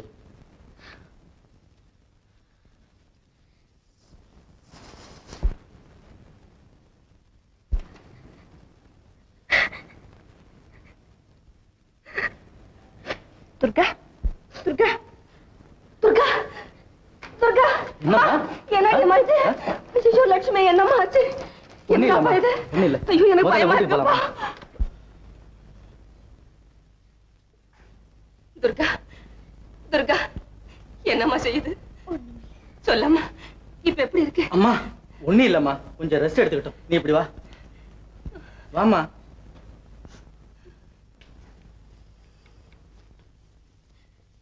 என்னடா இது? ஒண்ணும் இல்லம்மா பயப்படாத.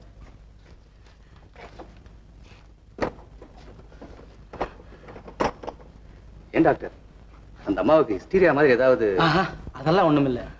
ஆனா மனசுக்குள்ளதான் ஏதோ ஷாக் ஏற்பட்டிருக்கணும். ஓஹோ. அப்ப நாங்க வரட்டுங்களா? போயிட்டு வாங்க. வரோம் நல்லதாண்ணா ஒண்ணும் இல்லம்மா வாமா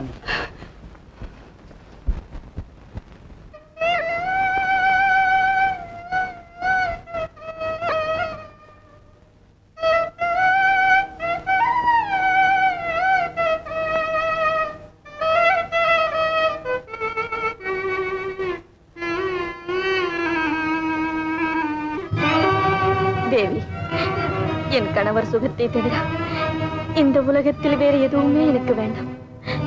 வாழ்க்கை பூரா இந்த வீட்டிலிருந்து அவருடைய பாத சேவை செய்யும் பாக்கியம் கிடைத்தால் எனக்கு அதுவே போதும்.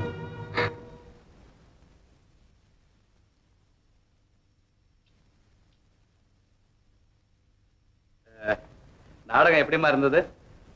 என்னமோப்பா எனக்கு என்னவோ பிடிக்கல. எல்லாம் நம்ப முடியாத சம்பவம். என்னதான் இருந்தாலும் ஒரு பெண் தன் கையால தன் புருஷனுக்கு வேறொரு பெண்ணை கல்யாணம் செய்து வைப்பாளா? அப்படிப்பட்ட தியாகமே உருவான ஒரு மனைவியை மாதர்குல மாணிக்கத்தை சிருஷ்டி செய்யறதுதான் நாடகத்தின் ஜீவநாடி என்னமோப்பா? அது மாதிரி ஒரு பெண்ணை கதையிலும் கற்பனையிலும் தான் நாம காண முடியுமே தவிர இந்த உலகத்துல காண முடியாதுங்கிறது என்னுடைய அபிப்பிராயம். போகட்டும். டாக்டர் பத்தி உன்னுடைய அபிப்பிராயம் என்ன? ரொம்ப நல்லவர். பெருந்தன்மையானவர். ஏன்? ஒண்ணுமில்ல. அப்படிப்பட்ட நல்ல மனுஷனை நீ கல்யாணம் செய்துகிட்ட கல்யாணமா? ஆமாம். அவரை பத்தி அப்படிப்பட்ட எண்ணம் எனக்கு தோணவே இல்லப்பா. என் பேச்சை கேளம்மா. இதுவரையிலும் உன் இஷ்டப்படி நான் நடந்தேன் விதிவசத்தால உன் எண்ணம் நிறைவேறல. இந்த தடவை என் இஷ்டப்படி நீ நட. உன் சந்தோஷம் சௌபாகியத்தை தவிர நான் வேற எதம்மா விரும்புவேன்? ஒரு அயோக்கியனுக்காக நீ எதுக்குமா உன் வாழ்க்கையை நாசம் செய்துக்கணும்?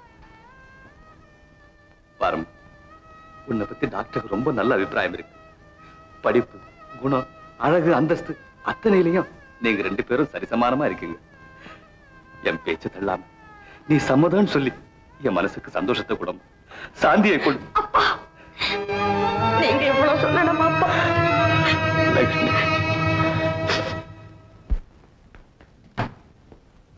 அம்மோ மதுரையில இருந்துதா மதுரையில இருந்தா மதுரையில இருந்தா. என்ன எழுதிருக்கா ஓ, இது லவ் லெட்டரம்மா லவ். இதெல்லாம் உங்களுக்கு என்னத்துக்கம்மா? சரி அவ்வளவு ரகசியமா இருந்தா நீ மனசுக்குள்ளே படிச்சுட்டு விஷயத்தையாவது என்கிட்ட சொல்லு. அதையான்னு கேட்டு நான் சந்தோஷப்படுறேன்? நான் சொல்ல மாட்டேம்மா சொல்ல மாட்டேன்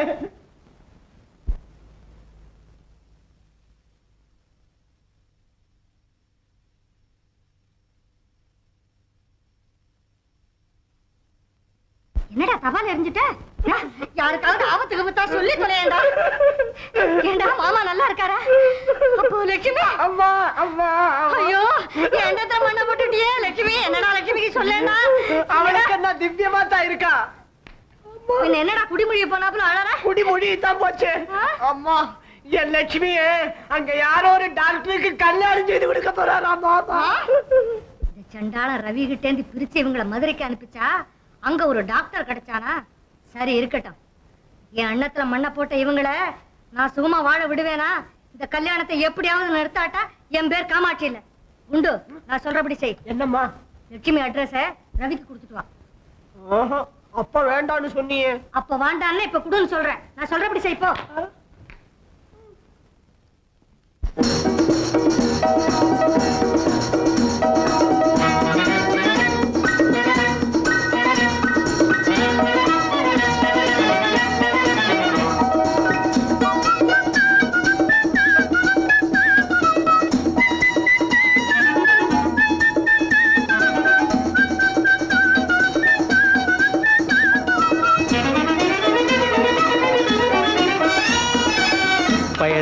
கட்டுவோம். பயணமே கட்டுவோம். பிரேமாமணி கண்ட பிரேமாமணி பீடை பழிச்சென்று விட்டதடி ராமாமணி. டிங் டிங் ராமாமணி. ஓ ராமாமணி.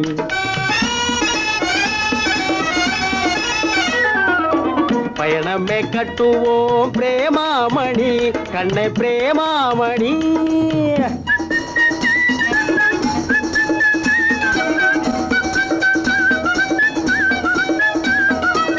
மதராசுக்கு கும்பிடு போட்டு மதுரைக்கே மூட்டைய கட்டு. மதராசுக்கு கும்பிடு போட்டு மதுரைக்கே மூட்டைய கட்டு. மனம் போல ஜாலியாக மகராஜம் ராணி போலே. மனம் போலே ஜாலியாக மகராஜம் ராணி போலே. மகராஜன் ராணி போலே. பயணமே கட்டுவோம் பிரேமாமணி கண்டே பிரேமாமணி.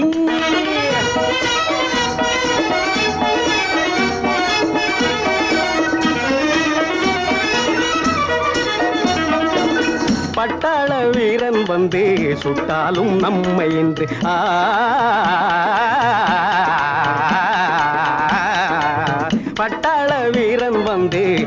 சுட்டாலும் நம்மை என்று சிட்டாக நாம் பறந்து ஜிகு ஜிகு வெனவே ரயில கடந்து ஜிகு ஜிகு வெனவே ரயில கடந்து. சிட்டாக நாம் பறந்து ஜிகு ஜிகு வெனவே ரயில கடந்து ஜிகு ஜிகு வெனவே ரயில கடந்து. எட்டாத எல்லை தேடி பயணமே கட்டுவோம் பிரேமாமணி கண்ண பிரேமாமணி.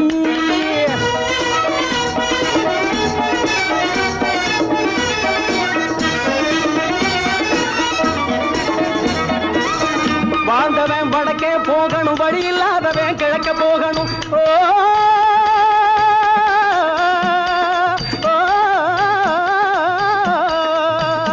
ஓய் வாழ்ந்தவன் வடக்கே போகணும் வழி இல்லாதவன் கிழக்க போகணும். மயில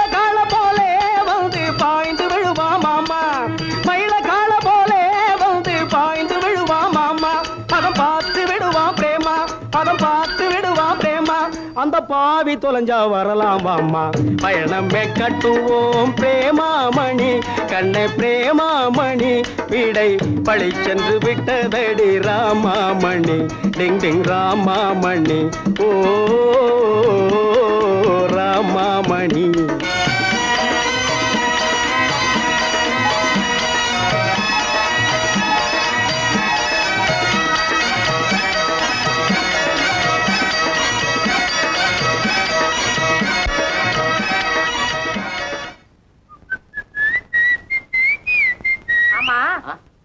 ஒரே பாட்டும் குஷியும் அட்டகாசமும் சைக்கிளையே அட்டகாசமும் குஷி இல்லாம எப்படி இருக்க முடியும்? உங்களால இருக்க முடியாது. அது சரி எங்க அப்பாவை அந்த பாவி தொலைஞ்சா வரலாமான்னு பாண்டீங்களே அவருக்கு என்னவா? அவருக்கு என்ன? அவர்தான் சோழ கொல்ல பொம்மை மாதிரி சோத்தை தின்னுட்டு வீட்டை சுத்தி சுத்தி சுத்தி ஆமா உங்க அப்பா இப்ப வீட்டுல இல்லையே? இல்ல. ஆ பொழைச்சேன். சரிச்சா தபார் உங்க அப்பன் தொல்லை இனிமே நமக்கு இல்ல. எனக்கு மதுரைக்கு மாத்தலாகி போச்சு. மதுரைக்கா? ஆமா இப்பவே பொட்டி சட்டிலாம் எடுத்துட்டு புறப்படு. இப்பவே எப்படிங்க புறப்படுறது? வீடு வீடு பார்க்க வேண்டாம்? அட வீடு இல்லைன்னா ஆயிரங்கால மண்டபத்துல ஒரு அரை நாள் தங்கினா போச்சு. ஐயோ என்ன இந்த சத்திரத்துல தங்குற புத்தி இங்க பாருங்க. ஒரு நல்ல வீடா பார்த்து வைக்க சொல்லி எங்க அப்பாவுக்கு ஒரு லெட்டர் போடுங்க. உங்க அப்பாவுக்கா? எங்க எப்போ எந்த இடத்துக்கு? எங்க அப்பா இப்ப மதுரையில தானே இருக்காரு? ஐயோ அப்பா நான் தொலைஞ்சேன் நான் தொலைஞ்சேன். அட கடவுளே உனக்கு கண்ணு இல்லையா? நான் ரயில்ல போகலாம்னு நினைச்சா இந்த சனி எனக்கு முன்னால இன்ஜின்ல போய் இறங்கிட்டானே.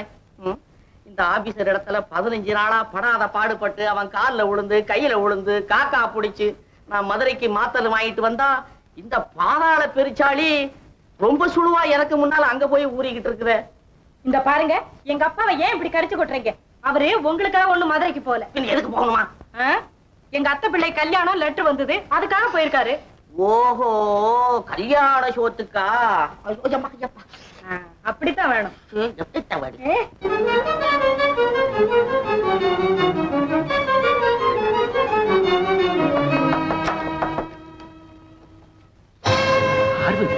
இங்க எப்படிம்மா வந்த? தெய்வாதீனமா வந்தேன். இங்கே என்னுடைய பேர் பார்வதி இல்லை. துர்கா என்னம்மா இதெல்லாம்? நீங்க என்னை தெரிஞ்ச மாதிரி காட்டிட்டு இங்க தங்க நிழல் கூட எல்லாமே செஞ்சிடாதீங்க. நீ சொல்றது ஒண்ணும் எனக்கு புரியலையம்மா புரியாம என்ன நான் வர வேண்டிய இடத்துக்கு வந்துட்டேன். அப்படின்னா நீதான் என் தங்கையின் மருமகளா? ஆமா. அப்போ சந்திரன் உன் புருஷன். அது உனக்கு நிச்சயமா தெரியும்ல? சந்தேகம் எல்லாமே தெரியும். ஆமா. உன் புருஷனுக்கு கல்யாணம்னு சொல்லி கடுதாசி கூட வந்திருக்க. இன்னும் நீ ஏன் இதை அவங்க கிட்ட சொல்லாம இருக்க. என்னால் எதை சொல்ல முடியும்? வேறொருத்தரை கணவனா நினைச்சு ஏமாற்றம் அடைந்ததை சொல்லவா? அத்தனை காலம் அந்நியர் வீட்டில் குடுத்தனம் நடத்தினதை சொல்லவா? எதை சொல்லி நான் களங்கம் இல்லாதவள் என்று நிரூபிக்க முடியும்? என் பேச்சை நம்பி என்னை மன்னிப்பாங்க மனைவியாகவும் மருமகளாகவும் என்னை ஏத்துக்கிட்டே ஆதரிப்பாங்க அட பைத்தியக்கார பொண்ணு யார் அந்நியர்? அவ்வளவு நாளும் என் வீட்டுல தானே இருந்தேன். நீ உத்தமி நான் சொல்றேன் வா. தயவு செய்து நீங்கள் எதையும் சொல்ல வேண்டாம். வாழ்நாள் பூராவும் அவருடைய பாததூளி என் சிரசிலே தரிக்கும் பாக்கியம் கிடைச்சா போதும். உனக்கு ஒண்ணும் தெரியாது. நீ சீரடியறத என்ன பாத்துக்கிட்டா இருக்க சொல்ற? இத பார், நான் எதுக்காக குடும்பத்தோட பட்டணம் வந்தேன் தெரியுமா? உன் மாச்சில்லாத நடத்திக்கு சாட்சியா இருக்கணுங்கிறதுக்காக ஆமா நான் சொன்னா என் பேச்ச சேகர் நம்பாம இருக்க மாட்டான். மத்ததெல்லாம் நான் பாத்துக்கிறேன் வா தயவு செய்து வேண்டாம் உன் புருஷனுக்கு நீயே கல்யாணத்தை செய்து வச்சு உன் கையாலேயே நெருப்பள்ளி உன் தலைவியை போட்டுக்க பாக்குறியா? நான் சொல்றதுக்கு உன் புருஷன் உன்னை கொஞ்சம் கூட சந்தேகப்படாதபடி நான் பாத்துக்கிறேன். மன்னிச்சிடுங்க. என் மேல இருக்கிற அபிமானத்தால் நான் சொல்றதை அர்த்தம் செஞ்சுக்காம பேசுறீங்க. பெண்களின் வாழ்வு புருஷனோடு இருக்கும் வரையில் தான் வைரக்கல். புருஷனை விட்டு பிரிந்து விட்டால் அது குப்பையில் கிடக்கும் சாதாரண கண்ணாடி துண்டுதான். அவதார புருஷன். ஸ்ரீராமர் கூட தீ குளித்து தூயவளாக வந்த சீதாதேவியை சந்தேகித்தார். பத்தினி தெய்வமான ரேணுகாதேவி கூட தன் கணவனால் சந்தேகிக்கப்பட்டவள் தான் நான் எம்மாத்திரம் நாம் எல்லோரும் மனிதர்கள் தானே தயவு செய்து நீங்கள் எதையும் சொல்லாமல் இருந்தால் அதுவே எனக்கு பெரிய உதவி செய்த மாதிரி தான் பார்வதி. அது. பாத்தீங்களா? மறுபடியும் பார்வதியா துர்கா ஞாபகம் வச்சுக்கோங்க. அதோ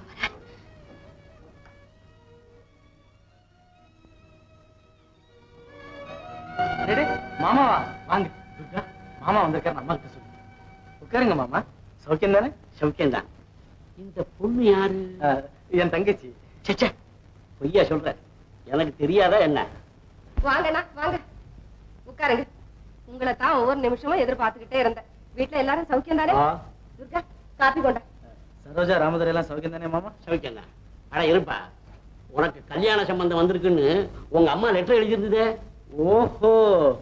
அம்மா எழுதினதை படிச்சுட்டு தான் பாவம் பட்டணத்துல இருந்து பறந்து வந்தீங்களா? மாமா அம்மாவுக்கு பைத்தியம் பிடிச்சிருக்குது. என்னது? வேற ஒண்ணும் இல்ல. நம்ம வீட்டுக்கு தப்பி தவறி யாராவது வயசு வந்த பொண்ணு வந்துட்டா போதும். அவ்வளவுதான். உடனே அம்மா கல்யாண பிரச்சாரத்தை ஆரம்பிச்சிருவாங்க. இல்லையாமா போதும்டா. பேசாம இரு. ஏமா துர்கா இவன் தானே அந்த பொண்ணையும் அவ அப்பாவையும் கூட்டிக்கிட்டு வந்து நமக்கு அறிமுகப்படுத்தி வச்சான். நல்லா இருக்கு. மாமா அவங்களுக்கு நம்ம ஊர்ல தெரிஞ்சவங்க யாரும் இல்லைன்னு நம்ம வீட்டுக்கு அவங்களாவே வந்தாங்க. நான் அறிமுகப்படுத்தி வச்சேன். துர்கா நீயே உண்மையை சொல்லு. அவங்க பரம்பரை பஞ்சாங்கத்தை எல்லாம் பிரட்டி அவங்க நம்ம சொந்தக்காரங்கன்னு சொல்லி இந்த கல்யாண பிரச்சனையை கொண்டு வந்தது யாரு? அம்மா தானே. ம்? அது சரி. நீயும் அந்த பொண்ணும் பழகின முறைய பார்த்து தான் நான் அந்த பேச்ச ஆரம்பிச்சேன். அப்படித்தானே? பொய் கலப்படம் இல்லாத போய். நான் ஒண்ணும் அந்த பொண்ணுகிட்ட அந்த முறையில பழகினதே கிடையாது. துர்கா நீ தான் பாத்துக்கிட்டு இருந்தியே. ஏன் பேசாம இருக்கிற? பேசாண்டி பார்த்தத சொல்லு. வீட்டை சுத்தி காமிக்கிறேன்னு சொல்லி கூட்டிக்கிட்டு போய் அவங்க சந்தோஷமா சிரிச்சு பேசிக்கிட்டு இருந்தத. நீ தானே பாத்துக்கிட்டு இருந்த? சொல்லு. சொல்லேன் துர்கா. சொல்லுமா ஏன் பயப்படுற? பாத்துட்டு சொல்லு உங்க சண்டையில அந்த பொண்ணை சித்திரவதை பண்றீங்க. நிஜமா சொல்ல போறான் காப்பி ஆறி போகுது அது இல்ல இத்தனைக்கும் அவங்க தான் பொண்ணை குடுக்கறேன்னு வந்தாங்க. நான் சரின்னு சொன்னேன். இதுல என்ன தப்பு? சரின்னு நீ ஏமா சொன்ன? என்ன கேட்காம? ஏண்டா பெத்த தாய் என்ன ஒரு வார்த்தை கூட கேட்காம நீ கல்யாணத்தை பண்ணிக்கிட்டியே? அப்ப இந்த புத்தி உனக்கு எங்கடா போச்சு? ஏமா மகளா அப்ப அந்த பொண்ணு சமாச்சாரம் என்ன ஆச்சுன்னு இன்னும் நீங்க தெரிஞ்சுக்கவே இல்லையா? அவதான் இறந்து போயிட்டாளே. அந்த சமாச்சாரம் இப்ப எதுக்கு? பாருங்க அண்ணா அவளுக்காக இவன் இப்படியே பிரம்மச்சாரியா இருக்க போறானா? இவன் அப்படி இருந்தா மாத்திரம் அவள் என்ன உயிரோட திரும்பி வந்துட போறாளா? ஏன் நான் பேசாம இருக்கீங்க? என்னம்மா பேசுறது? அதான் கண் முன்னாடி பிரத்யட்சமா பாத்துக்கிட்டு இருக்கேனே. ஆமா எல்லாம் என் தலை எழுத்து அப்படியா எஜமானருக்கு ஜுரம் அதிகமா இருக்கு. உங்களை உடனே அழைச்சிட்டு சொன்னாங்க. இதோ வர்றேன். வாங்க அண்ணா மங்களா நீ இந்த விஷயத்துல ரொம்ப அவசரப்படுறம்மா. இந்த காலத்துல பெண்ணு பிள்ளைங்க இஷ்டத்துக்கு விரோதமா எதுவும் செய்யக்கூடாது. இல்லன்னா உங்களுக்கு தெரியாது. அவனுக்கு இதுல இஷ்டம்தான். மேலுக்கு தான் அப்படி பேசுறான். இத பாருங்க நீங்களும் வந்துட்டீங்க. சீக்கிரமா ஒரு மூர்த்த நாள் நிச்சயம் செய்யறதுக்கு ஆக வேண்டியதை பாருங்க. துர்கா இதுக்கு வேண்டியதெல்லாம் நீதான் கவனிச்சுக்கணும்.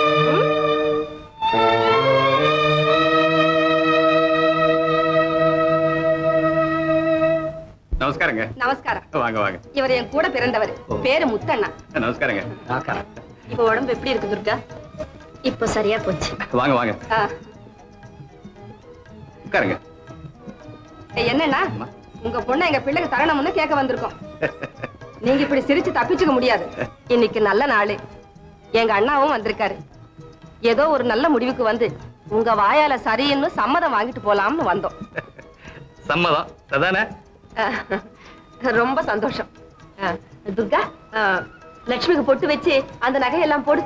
போமா போ. இந்தாப்பா. என்னண்ணா? ஒண்ணுமில்ல. ஆமா. பாரத்து கூட மஞ்சள் பூசுற வழக்கம் அதெல்லாம் அப்புறம் அண்ணா இப்ப பொட்டு வச்சா போறோம்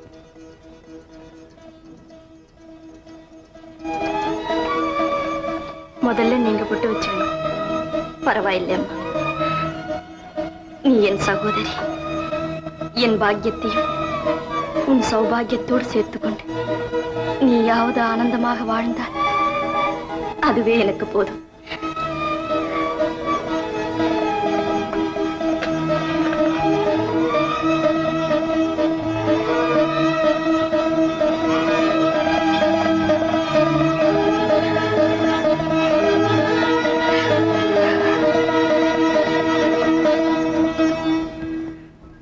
டேய் காவி பலாரம் கொண்டா துர்கா கொஞ்சம் தண்ணி கொண்டா துர்கா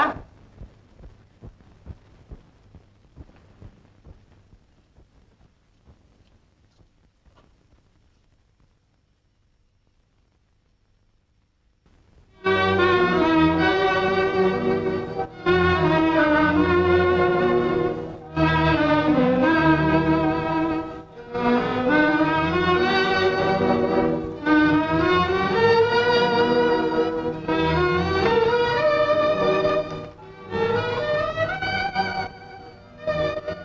அன்புமிக்க லட்சுமிக்கு. சந்தர்ப்பவசத்தால் இன்று நான் உன் தந்தையின் கண்களுக்கு சதிகாரனாக காட்சியளித்தேன். ஆனால் நான் களங்கமற்றவன். பார்வதி என் மனைவி அல்ல. பாத்தீங்களா? நாம ஒண்ணு நினைச்சா தெய்வம் ஒண்ணு நினைக்குது. நாங்க இந்த ஊருக்கு வருவோம்னு என்னைக்காவது நினைச்சிருப்போமா? இதுதான் தெய்வ செயலுங்கிறது. காமாட்சியா வா வா. நல்ல சமயத்துல வந்த அது என் தங்க. அப்படியா? அதோ என் மருமகன் கூட வந்துட்டா ரவியோட பொண்டாட்டி பார்வதி. காமாட்சி இவங்க தான் டாக்டருடைய தாயார். இந்த பெண்ணு தெரியுமே ரவியோட பொண்டாட்டியே. இல்ல சர்வ நிச்சயம் இல்ல. கேளுங்க இந்த பொண்ணு. அம்மா நில்லுமா போகாதம்மா. ரவி யாரம்மா? அவன் தான் எங்க லட்சுமியை கல்யாணம் செய்துக்கிறேன்னு சொல்லி ஆசை காட்டி மோசம் செய்தவன். இந்த காமாட்சி உன் ஒண்ணு விட்டு போகலையே. நீ ஏன் இங்க வந்த? உன்னை யார் இங்க வர சொன்னா? ஏன்னா உள்ளத்தை சொன்னா உடம்பு எரிச்சலா இருக்கா? ரவி லட்சுமியை காதலிச்சது பொய்யா? இல்ல வேற ஒருத்தி கல்யாணம் செய்துக்கிட்டதா பொய்யாங்கிற. பொய். எதுவுமே உண்மை இல்லை. எல்லாம் முழு பொய். சார். நீ எதுக்காக இங்க வந்த? போ வெளியே. மன்னிக்கணும். உங்ககிட்டயும் லட்சுமி கிட்டயும் ஒரு வார்த்தை சொல்லிட்டு போலாம்னு வந்தேன். நீங்க எது சொன்னாலும் நாங்க நம்ப தயாரா இல்ல. லட்சுமி. கள்ளங்கப்படம் தெரியாத என் பெண்ணோட வாழ்க்கை பாழ்படுத்தின செண்டாளன் நீ. ரங்கநாதன் சார். உங்கள் பெண்ணின் வாழ்வை பாழ்படுத்தியவன் நான் அல்ல அந்த நல்ல காரியத்தை செய்தவன் உங்கள் மருமகன் குண்டுமணிதான். இதோ பாருங்கள் என் தகப்பனாருக்கு அவன் எழுதிய கடிதத்தை. ஐயோ எனக்கு ஒண்ணுமே தெரியாது. இந்த கடுதாச அம்மா தான் எழுதி சொன்னாங்க. நான் எழுதி தொலைச்சேன். ஆயமுடுறா எதுவானா என்ன? பார்வதி உங்க மனைவி இல்லையா? இல்ல. பின்ன அவ யாரு? என் மனைவி. லக்ஷ்மி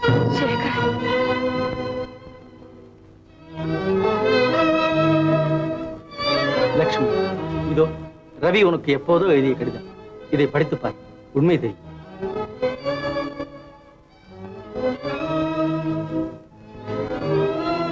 ரவி உன்னை போல உத்தமம் நேர்மை தவறாத கண்ணிய புருஷன். லட்சத்தில் ஒருவன் கூட இருக்க மாட்டான். பார்வதியை உன் சகோதரி போல பாவித்து அவள் வாழ்வை சுபிட்சமாக்க நீ பட்ட சிரமம் செய்த தியாகம் எல்லையற்றது. அதற்காக நான் மட்டுமல்ல ஆண் வர்க்கமே உனக்கு எவ்வளவோ கடமைப்பட்டுள்ளது. ரவி. தேங்க்யூ டாக்டர் நீங்களாவது என்னை புரிந்து கொண்டீர்கள். எனக்கு அதுவே போதும். ஆனா பார்வதியை உங்களிடம் ஒப்படைத்து உண்மையை தெளிவுபடுத்த முடியாதவனாக போய்விட்டேன். பார்வதி இங்கேதான் இருக்கிறான் எங்கேம்மா? இந்த குழப்பத்துல அவ எங்க போயிட்டாளோ என்னமோ? போய் பாருப்பா.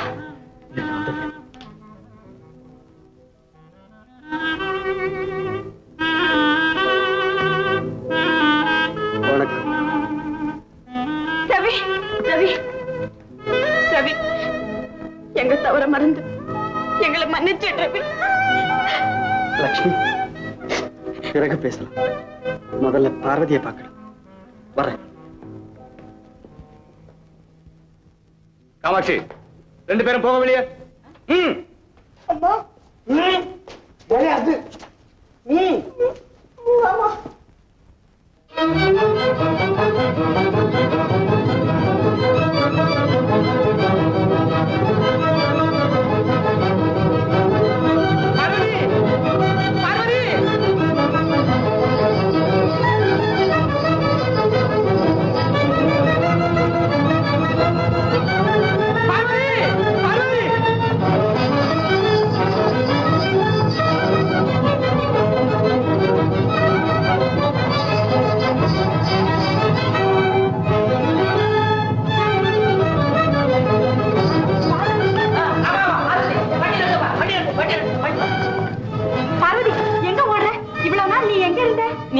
போ பார்வதி.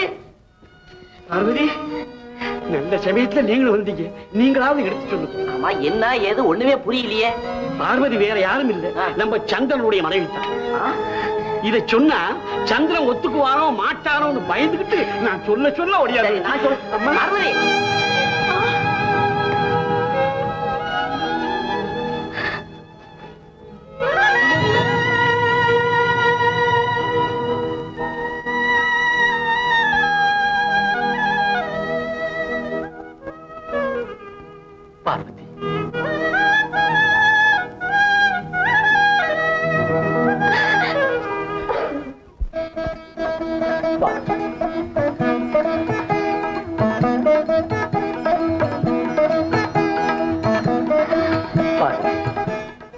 ரவியின் கடிதம் பார்த்த பிறகுதான் எனக்கு எல்லா உண்மையும் தெரிஞ்சது. ரவியை போல ஒரு உத்தமன் வீட்டுல உனக்கு அடைக்கலம் கிடைச்சது. நம்முடைய பெரிய பாக்கியம் பார்வதி பார்வதி இவ்வளவு நாளா? இந்த சுபதினத்திற்காக நான் எதிர்பார்த்துக் கொண்டிருந்தேன்.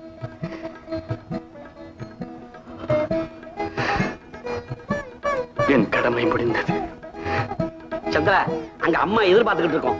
வாங்க போகலாம். ம். ரவி வா போறோம்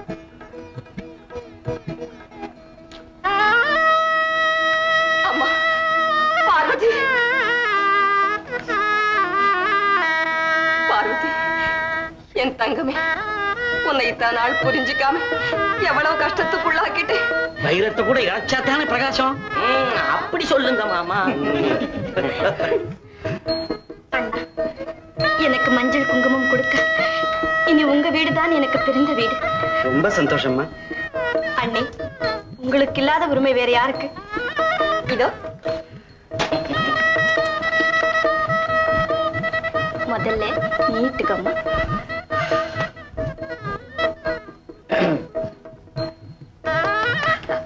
ஏமா லட்சுமி வாசவதத்தாவை போல ஒரு ஸ்திரீ இந்த உலகத்துல இருப்பாளான்னு கேட்டியே. பாரதிய பார்த்தியா? என் கண்ணி பார்வதி. சாட்சாத்து பார்வதி தேவியே தான் இனிமே இந்த வீட்டுக்கு ராணி. இல்லை. உங்கள் பாத சேவை செய்யும் பாக்கியவதி. சரோஜா